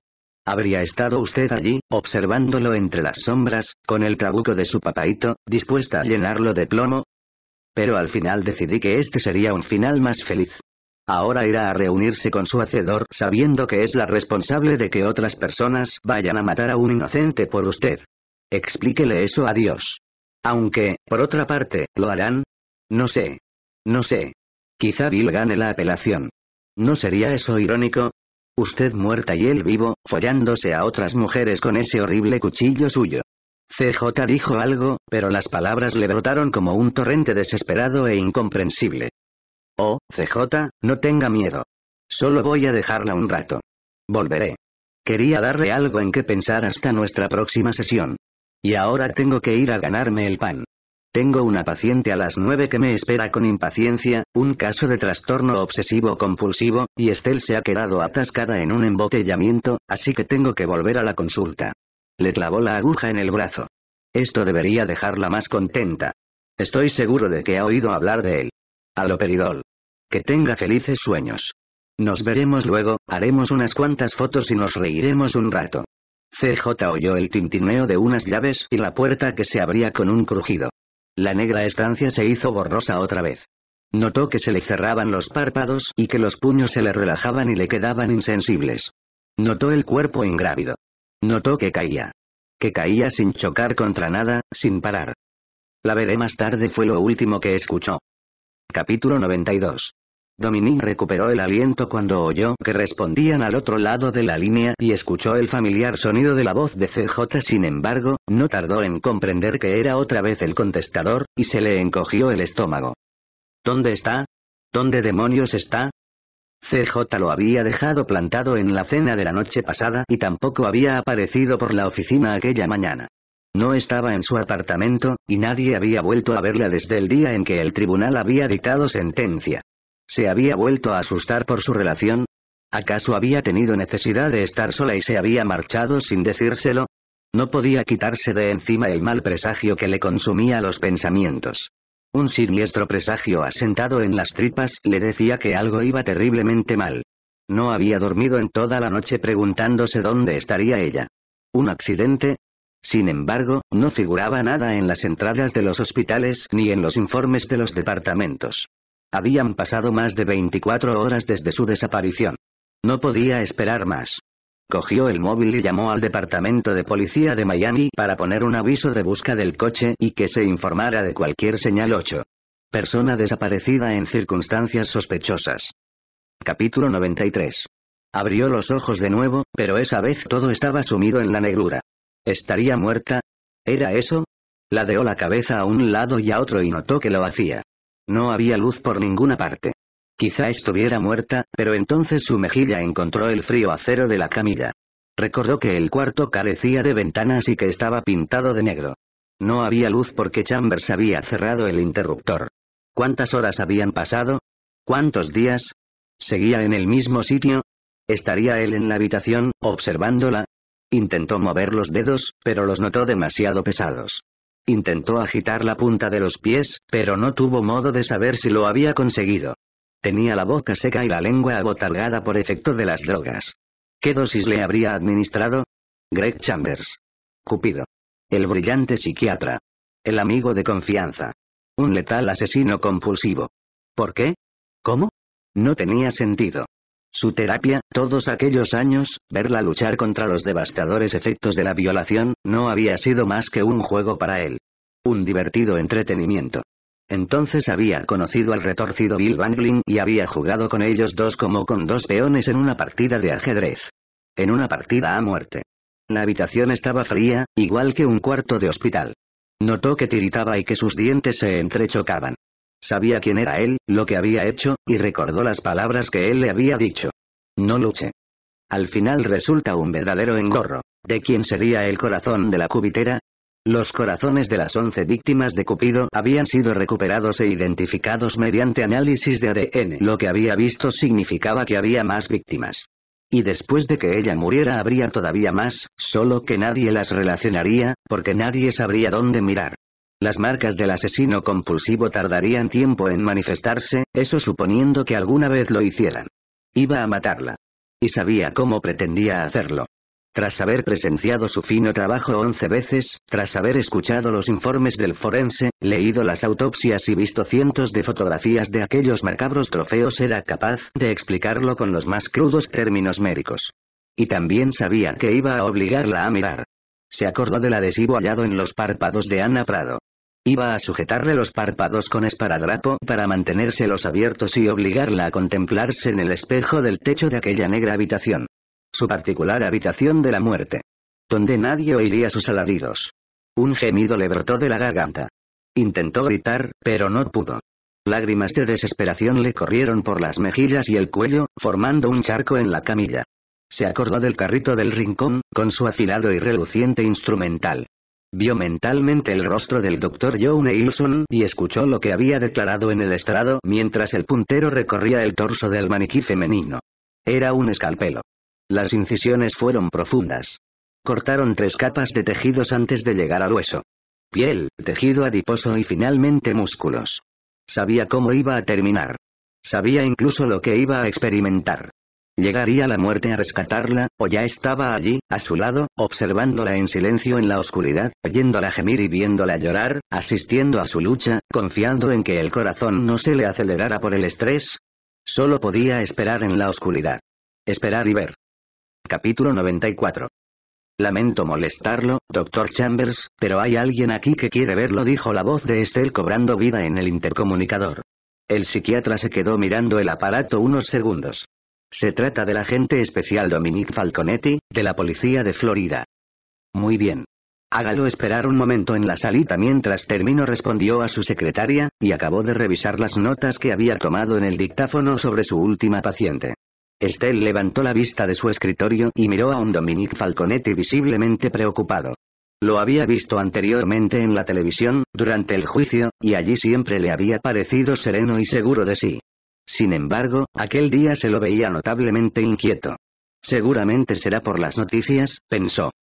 Agente, el doctor le atenderá en unos minutos.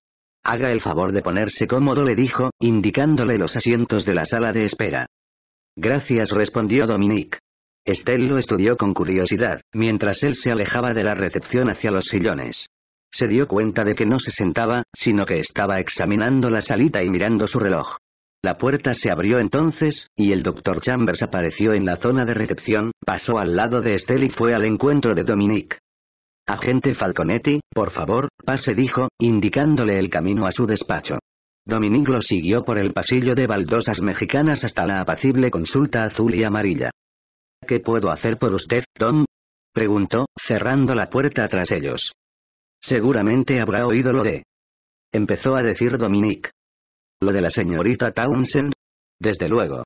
Lleva dos días saliendo en las noticias. ¿Hay alguna novedad? No. Ninguna. Por eso estoy aquí. Vaciló antes de proseguir. No sé si usted lo sabía, pero estábamos juntos. Me contó que había estado consultándolo profesionalmente. Es precisamente por ello por lo que me gustaría hacerle algunas preguntas. Tom, por favor, le ayudaré tanto como pueda, por descontado. Pero no me pregunte sobre nada de lo que la señorita Townsend pudo haberme confiado como paciente. Es algo que ni puedo ni estoy dispuesto a divulgar. Lo entiendo. Lo que necesito saber es cuándo fue la última vez que la vio. Greg Chambers lo estudió un momento. Ya había previsto la posibilidad de aquel encuentro. Pero si el gran agente especial hubiera sabido o sospechado siquiera la verdadera respuesta a esa pregunta, habría llamado a su puerta hacía dos días.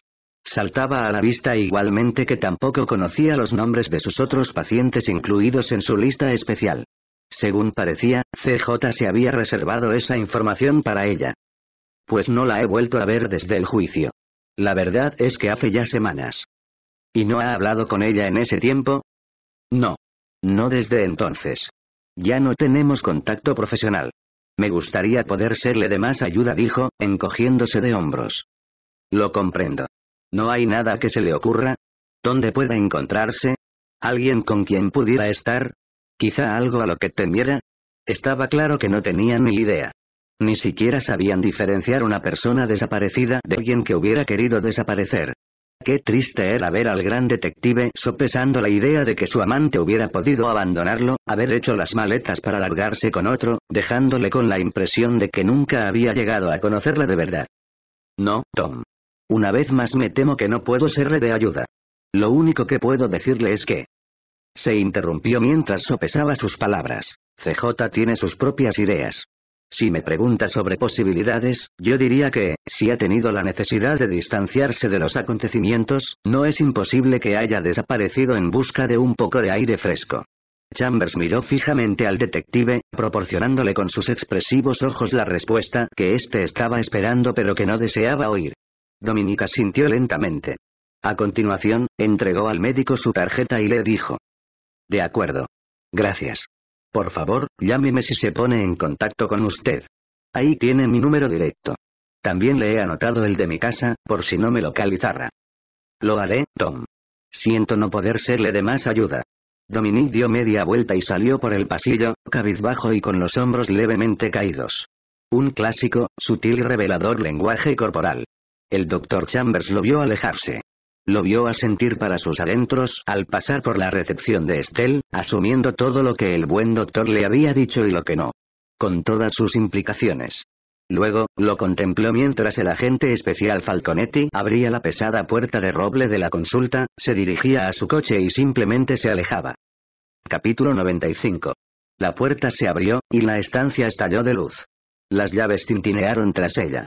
Chambers se dirigió al aseo del rincón y empezó a lavarse las manos, dándole la espalda.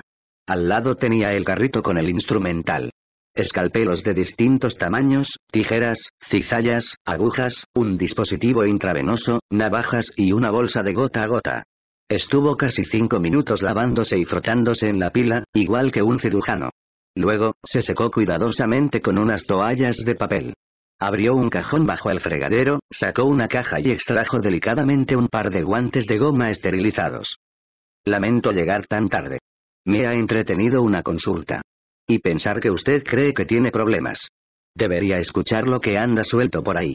Quinceañeras esquizofrénicas que amenazan a sus propias madres con cuchillos. ¿Se lo imagina?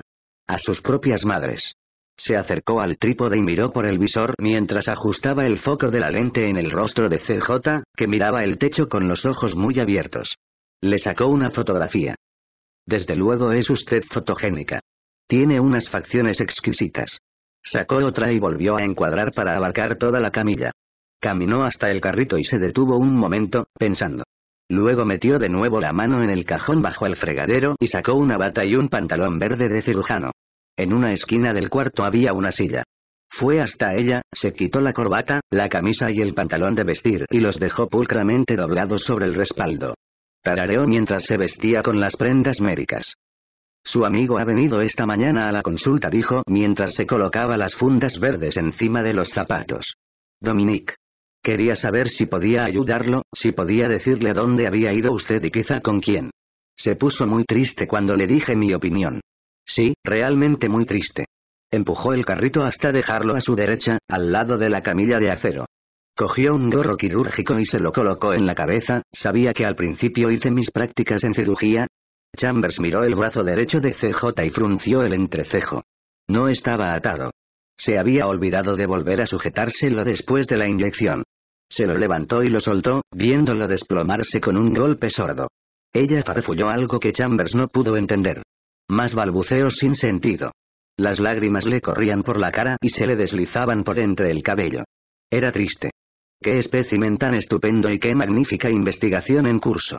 Había creído que cuando acabara lo invadiría un sentimiento de alegría, una sensación de confirmación al ver sus hipótesis convertidas en realidad.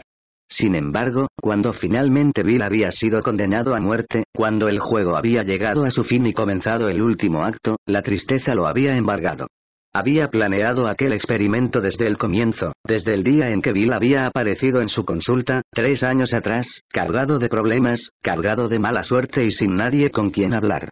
Pero él sí, él había escuchado mientras Bill despotricaba y se deleitaba. Había escuchado mientras el otro explicaba al buen doctor todas las cosas malas que había hecho a las hermosas mujeres con las que se había cruzado a lo largo de los años. Y él había aprendido. Había aprendido que, a pesar de que las coincidencias escaseaban, de vez en cuando seguían produciéndose. Y ese fue el momento en que el doctor Gregory Chambers, doctor en medicina, psiquiatra, supo que había hallado los dos ejemplares más sorprendentes con los que llevar a cabo el experimento más asombroso en la historia de la psiquiatría moderna. Y a pesar de que se había interesado por la muerte mucho antes de que sus sesiones con la depresiva CJ o el narcisista sociópata Bill hubieran empezado, sus esfuerzos habían resultado inmaduros. A las otras ni siquiera las habían echado en falta. Sus muertes habían sido inconsecuentes e insignificantes. Pero aquello, aquel experimento, había supuesto una verdadera orquestación. Rememoró la emoción que había sentido en el momento en que lo había decidido, y la mirada de la pobre y dulce Nicolette cuando la había abierto en canal. Ni siquiera se había dado cuenta de la importancia de su papel. Ella había sido la primera. La primera de muchas en aquel ciego estudio. Y en ese momento, cuando todo estaba a punto de terminar, se sentía triste. Triste porque sabía que nunca podría compartir su gran labor ni sus formidables logros con el mundo. Sus colegas nunca lo sabrían. Sus observaciones y resultados no podrían ser compartidos y analizados por sus contemporáneos. Para ellos, él seguiría siendo el doctor Don Nadie. Vamos, vamos. Nada de lágrimas dijo en tono compasivo. Me gustaría decirle que esto no le va a doler nada, pero me temo que no sería verdad. Como sabe, primero tengo que ponerle el gotero. Chambers extendió la mano y cogió la jeringa y la tira de goma para pincharle la vena. De repente, se dio la vuelta y agarró violentamente la muñeca derecha de CJ, estrujándola y aplastándola contra la superficie de la camilla. Acercó la cara hasta que estuvo a escasos centímetros de la de ella y rebuscó en los vacíos ojos que miraban, indefensos, al techo. Pero antes de que empecemos le sonrió desde lo alto, ¿por qué no es buena chica y me devuelve el escalpelo? Capítulo 96. Qué lista. Sí, muy lista. Desde luego, había reparado en el escalpelo que faltaba nada más entrar en la habitación. ¿Acaso lo había tomado por imbécil creyendo que no se daría cuenta? El clásico error. Un error que otras mucho más listas que ella habían cometido. Con las prisas lo había subestimado, lo había tomado por tonto.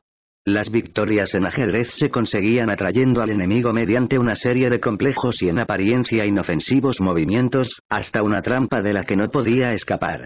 La emoción culminaba cuando se susurraban las palabras jaque mate al sorprendido incauto de delante que, hasta ese momento, no había hecho más que planear su siguiente movimiento para intentar matar a la reina. Su juego no era muy distinto, y el placer de la victoria aumentaba si se contaba con un adversario digno de ese nombre. Se había movido por la habitación, disponiendo el tablero, diseñando la trampa, ebrio de expectación por ver la expresión de asombro recorriéndole el bello rostro.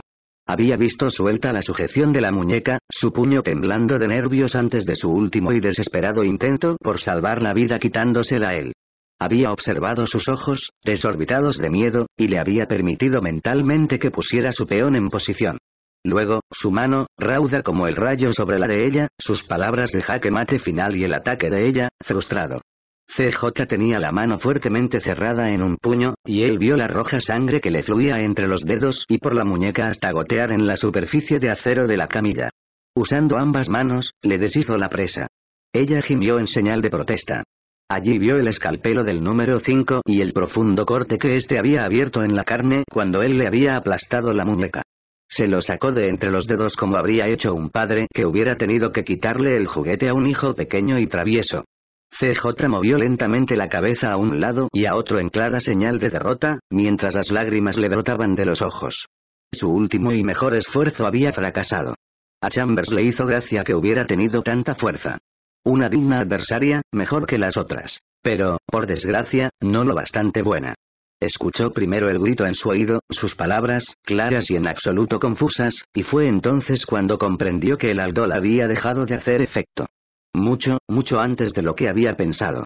Dolor, un dolor odioso y ardiente le atravesó el cuello, y notó el calor de su propia sangre mientras le goteaba sobre la bata, convirtiendo lentamente el tejido verde en otro rojo oscuro. La sorpresa sustituyó a la diversión mientras oía las palabras que ella le gritaba con el lacrimógeno rostro sombrío e iracundo. Se llevó inútilmente las manos al cuello, intentando tapar el agujero del que le emanaba un violento chorro entre los dedos. Notó que se ahogaba en su propia sangre y oyó sus propias y entrecortadas palabras cuando intentó hablar con CJ. Contempló cómo la vida se le escapaba, salpicándole los zapatos, fluyendo lentamente por todo el suelo. Forcejeó para agarrarla, para retorcerle y aplastarle el cuello, pero dio un traspié y no pudo alcanzarla cuando cayó hacia atrás, dando con la espalda contra la pared. CJ se sentó en la camilla, y Chambers vio entonces la navaja que sostenía en la mano izquierda, de la que caían gotas de sangre en la camilla. Su sangre. Y en ese momento tuvo miedo porque supo que había cometido el error más clásico de todos. La había subestimado. Capítulo 97. CJ sabía que solo disponía de una oportunidad. Solo de una oportunidad para que Chambers se le acercara lo suficiente y ella pudiera clavarle la hoja en un ojo, en la oreja o en el cuello. Él cruzó el cuarto con sus ropas verdes, sin dejar de tararear, y, de repente, apareció a su lado, frunciendo el entrecejo, sobre ella. CJ supo que algo iba mal e incrementó la presión del pulgar, aferrando la cuchilla.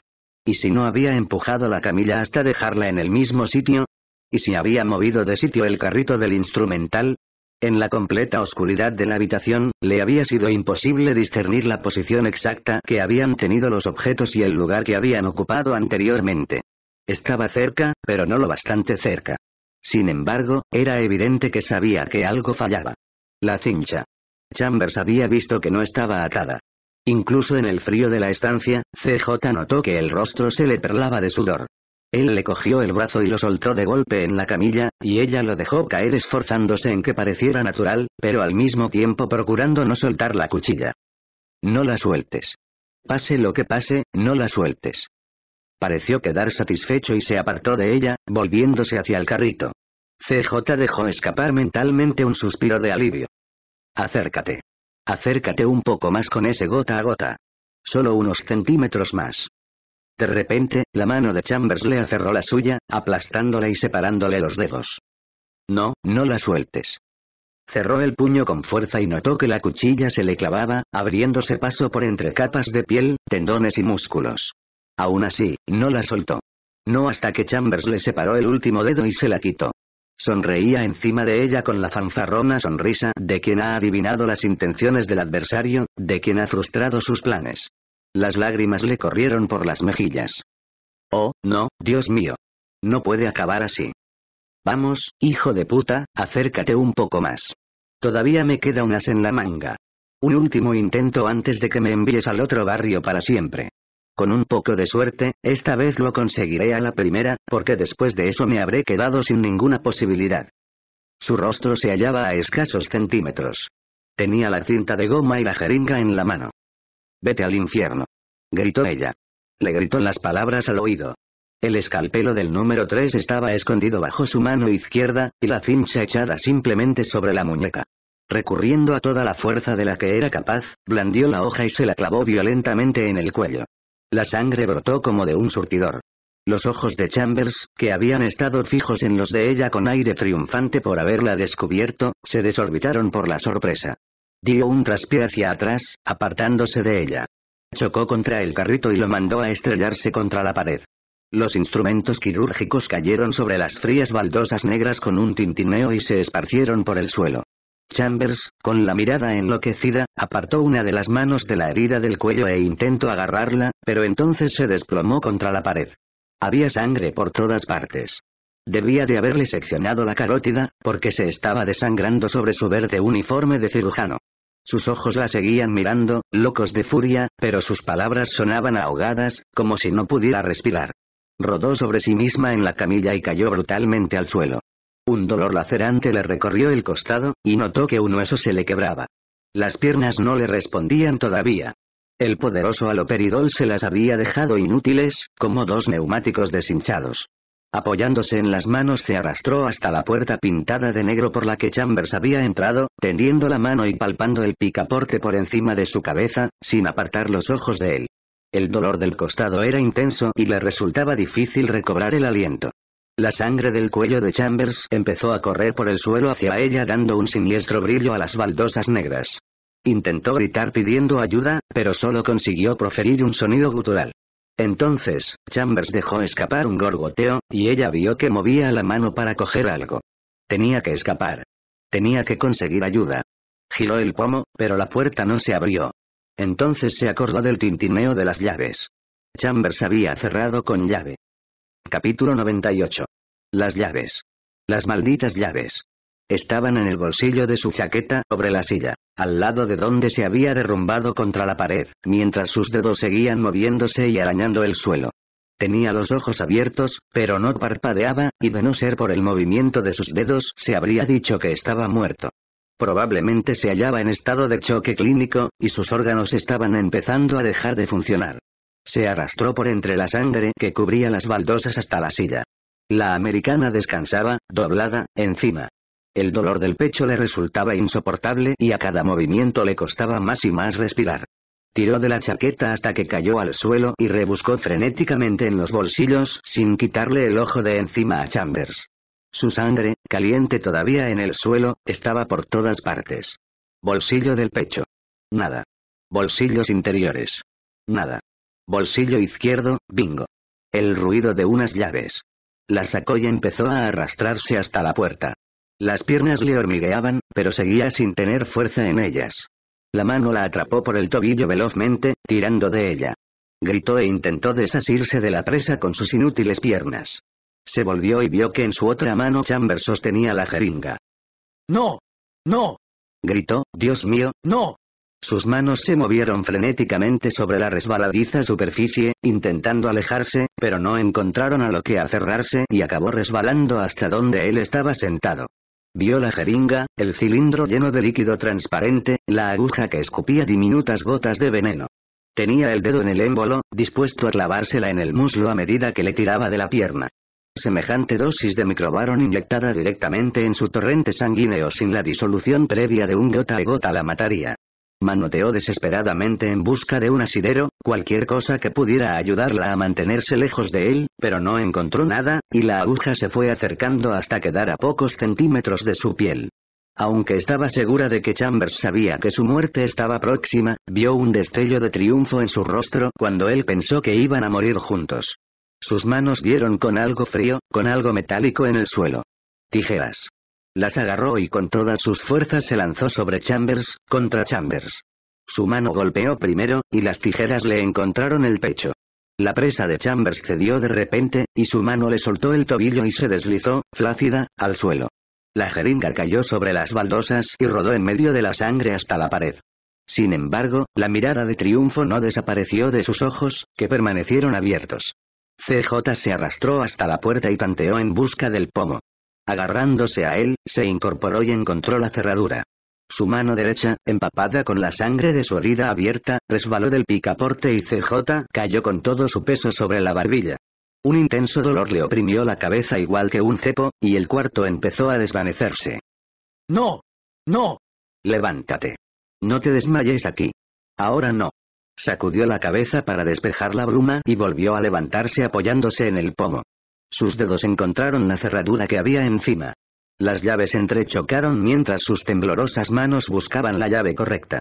El dolor en la palma de su mano derecha era intenso y no le permitía usar los dedos. La tercera llave halló la cerradura y se deslizó dentro. Oyó un clic. Giró el pomo y consiguió abrir ligeramente la puerta antes de resbalar hasta el suelo. Sus dedos hallaron la abertura y tiraron del batiente hasta que por fin cayeron en el suelo enmoquetado de un oscuro pasillo. En alguna parte sonaba el tic-tac de un carillón. ¿Dónde estaba? ¿Dónde demonios estaba? ¿Qué otras sorpresas le tenía reservadas? Lanzó una mirada a su espalda.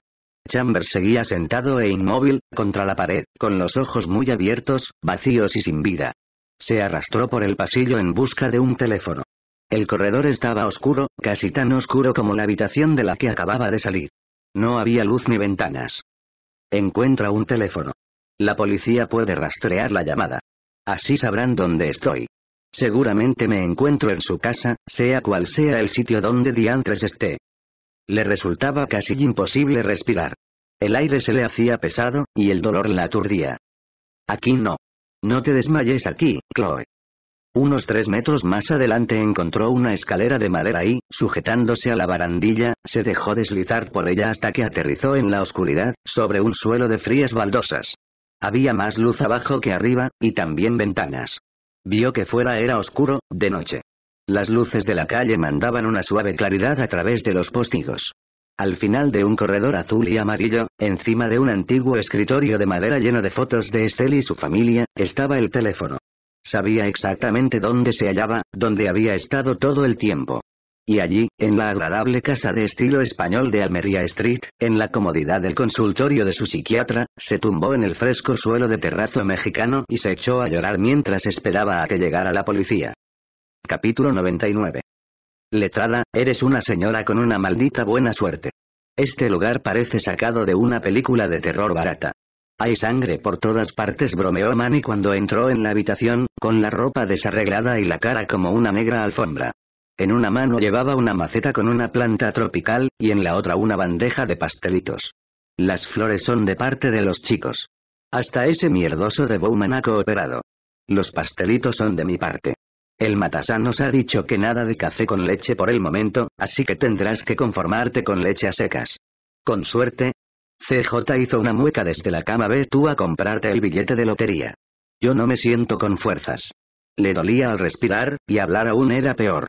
Gracias, son preciosas. Bueno, tienes un aspecto horrible, pero al menos estás viva. Es más de lo que podemos decir de nuestro simpático doctor. Acabo de llegar de su consulta. Bonito agujero el que le dejaste en el pecho, letrada. Y más bonito todavía el del cuello. Recuérdame que no debo hacerte enfadar. ¿Qué dicen los doctores?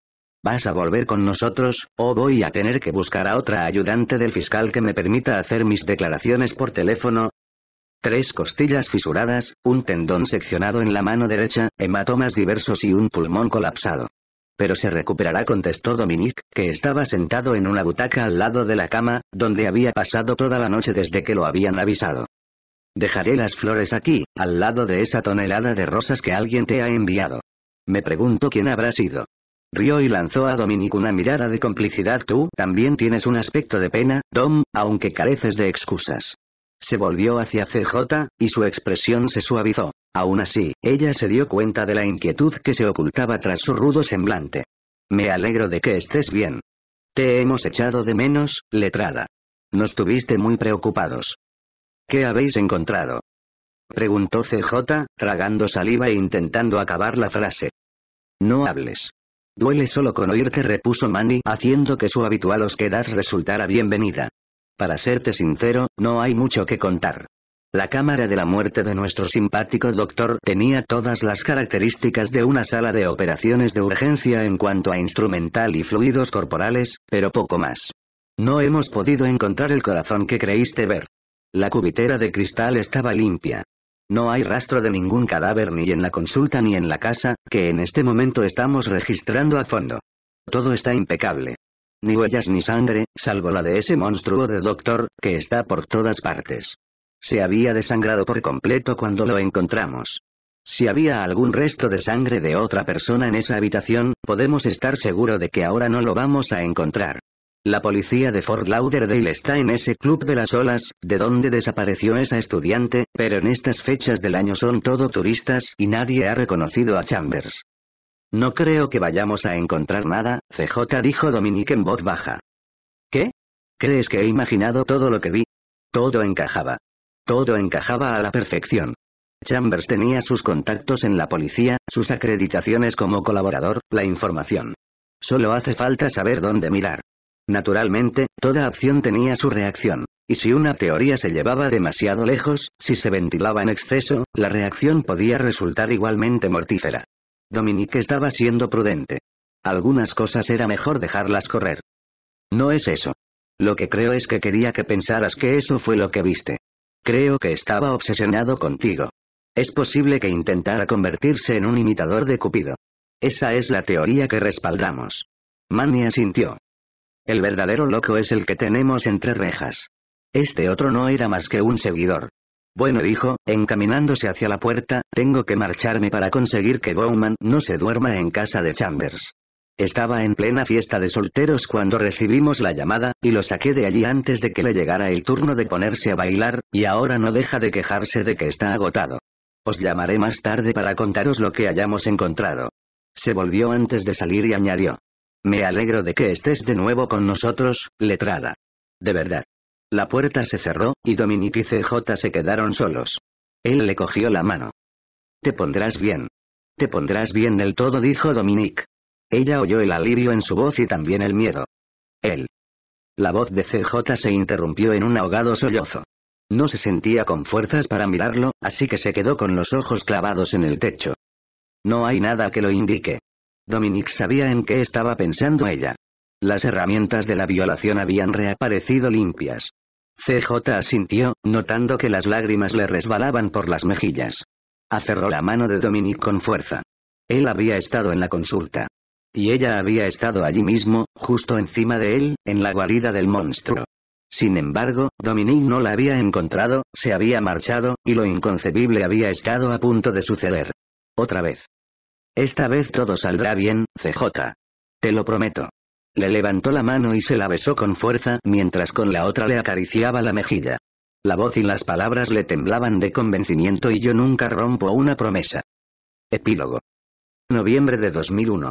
Las puertas de la sala 6, 8 del juzgado se abrieron al abarrotado pasillo, donde los fatigados y confusos familiares tanto de víctimas como de acusados esperaban que sus casos fueran atendidos. El juez Katz, de un humor especialmente irritable por tener que trabajar en víspera de vacaciones, dirigía el ritmo de las comparecencias de la mañana, dispensando justicia y concediendo y denegando fianzas a una velocidad de vértigo. CJ salió de la sala, dejando que las puertas se cerraran ante una nueva diatriba del juez. Nada de fianza. Ni ahora ni nunca gritaba Katz. Si lo ama tanto, vaya a visitarlo o a la cárcel. Entre tanto, hágase mirar la vista, no sea que vuelva a golpearse contra un bate de béisbol. Esas fueron las últimas palabras que CJ oyó antes de que las puertas se cerraran del todo. Otro día en el paraíso. Paul Meyers, el jefe de departamento de la unidad jurídica de la oficina del fiscal del estado, la estaba esperando en el pasillo, apoyado contra la pared, con unos documentos en la mano. Su expresión era seria y reservada. Hola, CJ dijo apartándose de la pared y abriéndose camino hacia ella entre el gentío. Sabía que tenías una vista preliminar esta mañana y tenía que hablar contigo antes de que esto se sepa y los teléfonos empiecen a sonar. CJ notó que se le hacía un nudo en el estómago. Adiós a la escapada de un fin de semana de puente. Una visita en los tribunales del jefe en persona de la unidad jurídica no era normalmente una buena noticia. Claro, Paul. ¿Qué ocurre? Se trata de la apelación de Bandling. Acaba de saberse esta mañana. Nos ha llegado por fax directamente de la oficina del fiscal general, que a su vez lo ha recibido del secretario de la sala tercera. Quería ser el primero en decírtelo. Estoy seguro de que la prensa no tardará en llamar. Oh, Dios mío. Aquí llega. Ya puedes empezar a pensar en una nueva dirección donde vivir, porque lo han dejado libre. La pesadilla que hacía casi un año que había conseguido dejar atrás estaba a punto de volver a empezar. El nudo en el estómago se le apretó un poco más y la boca se le secó. Asintió lentamente. ¿Y? Fue todo lo que pudo decir. ¿Y? Pues que hemos ganado, y en todos los aspectos. Respondió Meyers a la par que sonreía. El tribunal ha declarado unánimemente la culpabilidad de Bandling. He traído el veredicto. Hurgó entre unos papeles que llevaba y le mostró unas hojas. Tengo que hacerte fotocopias, pero básicamente lo que dicen es que no había conflicto por el hecho de que representaras al Ministerio Fiscal. Dicen que el argumento de que hubiera sido él quien. Bueno, tu agresor, fue oportunista, difamatorio y carente de toda prueba que lo respaldara. Afirman que, de haber tenido en cuenta su alegación, y cito, se abrirían las puertas a que otros acusados pudieran difamar a los fiscales y jueces encargados de sus casos, con la esperanza de interferir en el curso de la justicia. Que simplemente permitir que una simple alegación fundamente un argumento recusatorio, formulada convenientemente en este caso tras haber expirado los plazos del régimen de prescripciones, permitiría a cualquier acusado escoger no solo entre los miembros del foro, sino entre los de la fiscalía sin que le sea requerida una sustanciación de sus alegaciones. Meyer señaló la parte del texto subrayada tampoco comparten la teoría de una conspiración ni la de una falta de profesionalidad de la defensa. Aseguran que Lourdes Rubio lo hizo más que bien y que la decisión de declarar o no declarar quedó debidamente registrada en las actas del juicio como exclusivamente de él. Y por último, y lo más importante, tampoco ponen en cuestión las pruebas presentadas en el último momento. También te lo he subrayado. Dicen que el juez Haskell oyó las alegaciones del recurso de Bangling solicitando un nuevo juicio y que tampoco les parecen lo bastante fundamentadas. Tampoco consideran que, en sí misma, la agresión de la que fuiste objeto por parte de Bangling fuera admisible como nueva prueba. Y también destacan que el jurado, en su juicio del pasado verano, tampoco admitió dicho argumento y que lo condenó por los 10 asesinatos. Punto. Fin de la historia. Ya puedes volver a respirar tranquila, Z. ¿Y qué viene a continuación? El corazón le latía a toda prisa.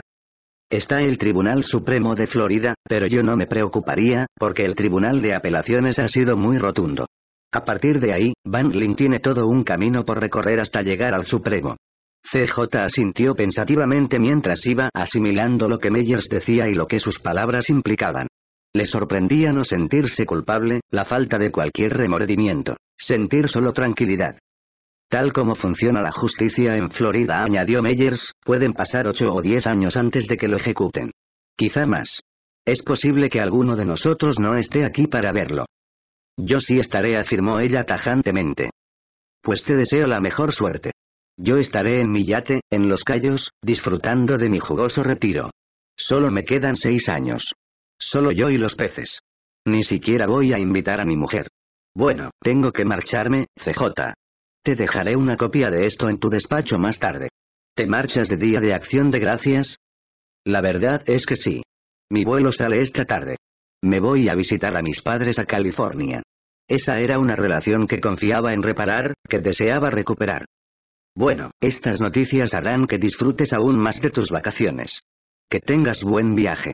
Meyers se alejó por el abarrotado pasillo, hacia los ascensores, con alegres pensamientos de pavo relleno y de un feliz retiro bailándole en la cabeza. Sí, Paul. Sí que estaré allí. Cuando sea que llegue el momento. Allí estaré para ver cómo ocurre. Para asegurarme de que se hace justicia. Lo observó meterse en el ascensor y lo saludó con la mano mientras las puertas se cerraban. Luego miró la hora en el reloj. Era casi mediodía, y le quedaban asuntos por despachar antes de volver a casa y hacer las maletas. Cogió el ascensor hasta la planta baja y pasó ante el Pickle Barrel. Debido a la fiesta no estaba tan lleno como de costumbre, ya que la mayoría de abogados defensores, fiscales y jueces habían empezado su fin de semana tras la sesión matinal. CJ abrió las puertas de cristal y bajó por los peldaños de cemento. La salida trasera de los juzgados daba a la calle 13 y a la cárcel del condado. Por razones de seguridad, estaba cerrada al tráfico, salvo para los vehículos de la policía. Reconoció el coche de inmediato. Dominique estaba sentado al volante de su Grand Prix, justo delante de la escalinata, esperándola. Cuando ella se acercó, bajó la ventanilla del pasajero. Oye, bombón, ¿quieres que te lleve? Mi madre siempre me decía que no hablara con desconocidos ni me subiera a sus coches, contestó ella sonriendo, ¿qué haces aquí? Pensaba que me ibas a pasar a buscar por casa. Sí, pero he preferido venir a rescatarte temprano de este lugar. Quizá podríamos empezar con unos de esos Glodimer y enlatados de las líneas aéreas. Ella abrió la portezuela y subió al lado de Dominique. Él le rodeó la nuca suavemente con la mano y la atrajo hacia sí. Sus labios se unieron. Caramba. Dijo ella cuando el beso hubo finalizado, menuda bienvenida. Me alegro de que hayas venido. En este momento me apetecería cualquier cosa fría y tropical. Una copa de estamos de vacaciones, ¿has hecho ya el equipaje? Sí. Está todo ahí atrás. ¿Y tú? Claro que no. Pero es posible que puedas ayudarme. No tardaremos. Pues pongámonos en marcha. Vamos a dejar estos horribles expedientes y luego te llevo a casa. A partir de ese momento, muñeca, solos tú y yo. Y mis padres. No olvides que te los voy a presentar. Estoy impaciente, contestó diciendo la verdad. Ella sonrió, volvió a besarlo suavemente y se apeó del coche para desprenderse de aquellos desagradables expedientes y empezar de una vez sus vacaciones. Su vuelo a San Francisco salía a las cinco y media de la tarde, y no quería perderlo. Fin.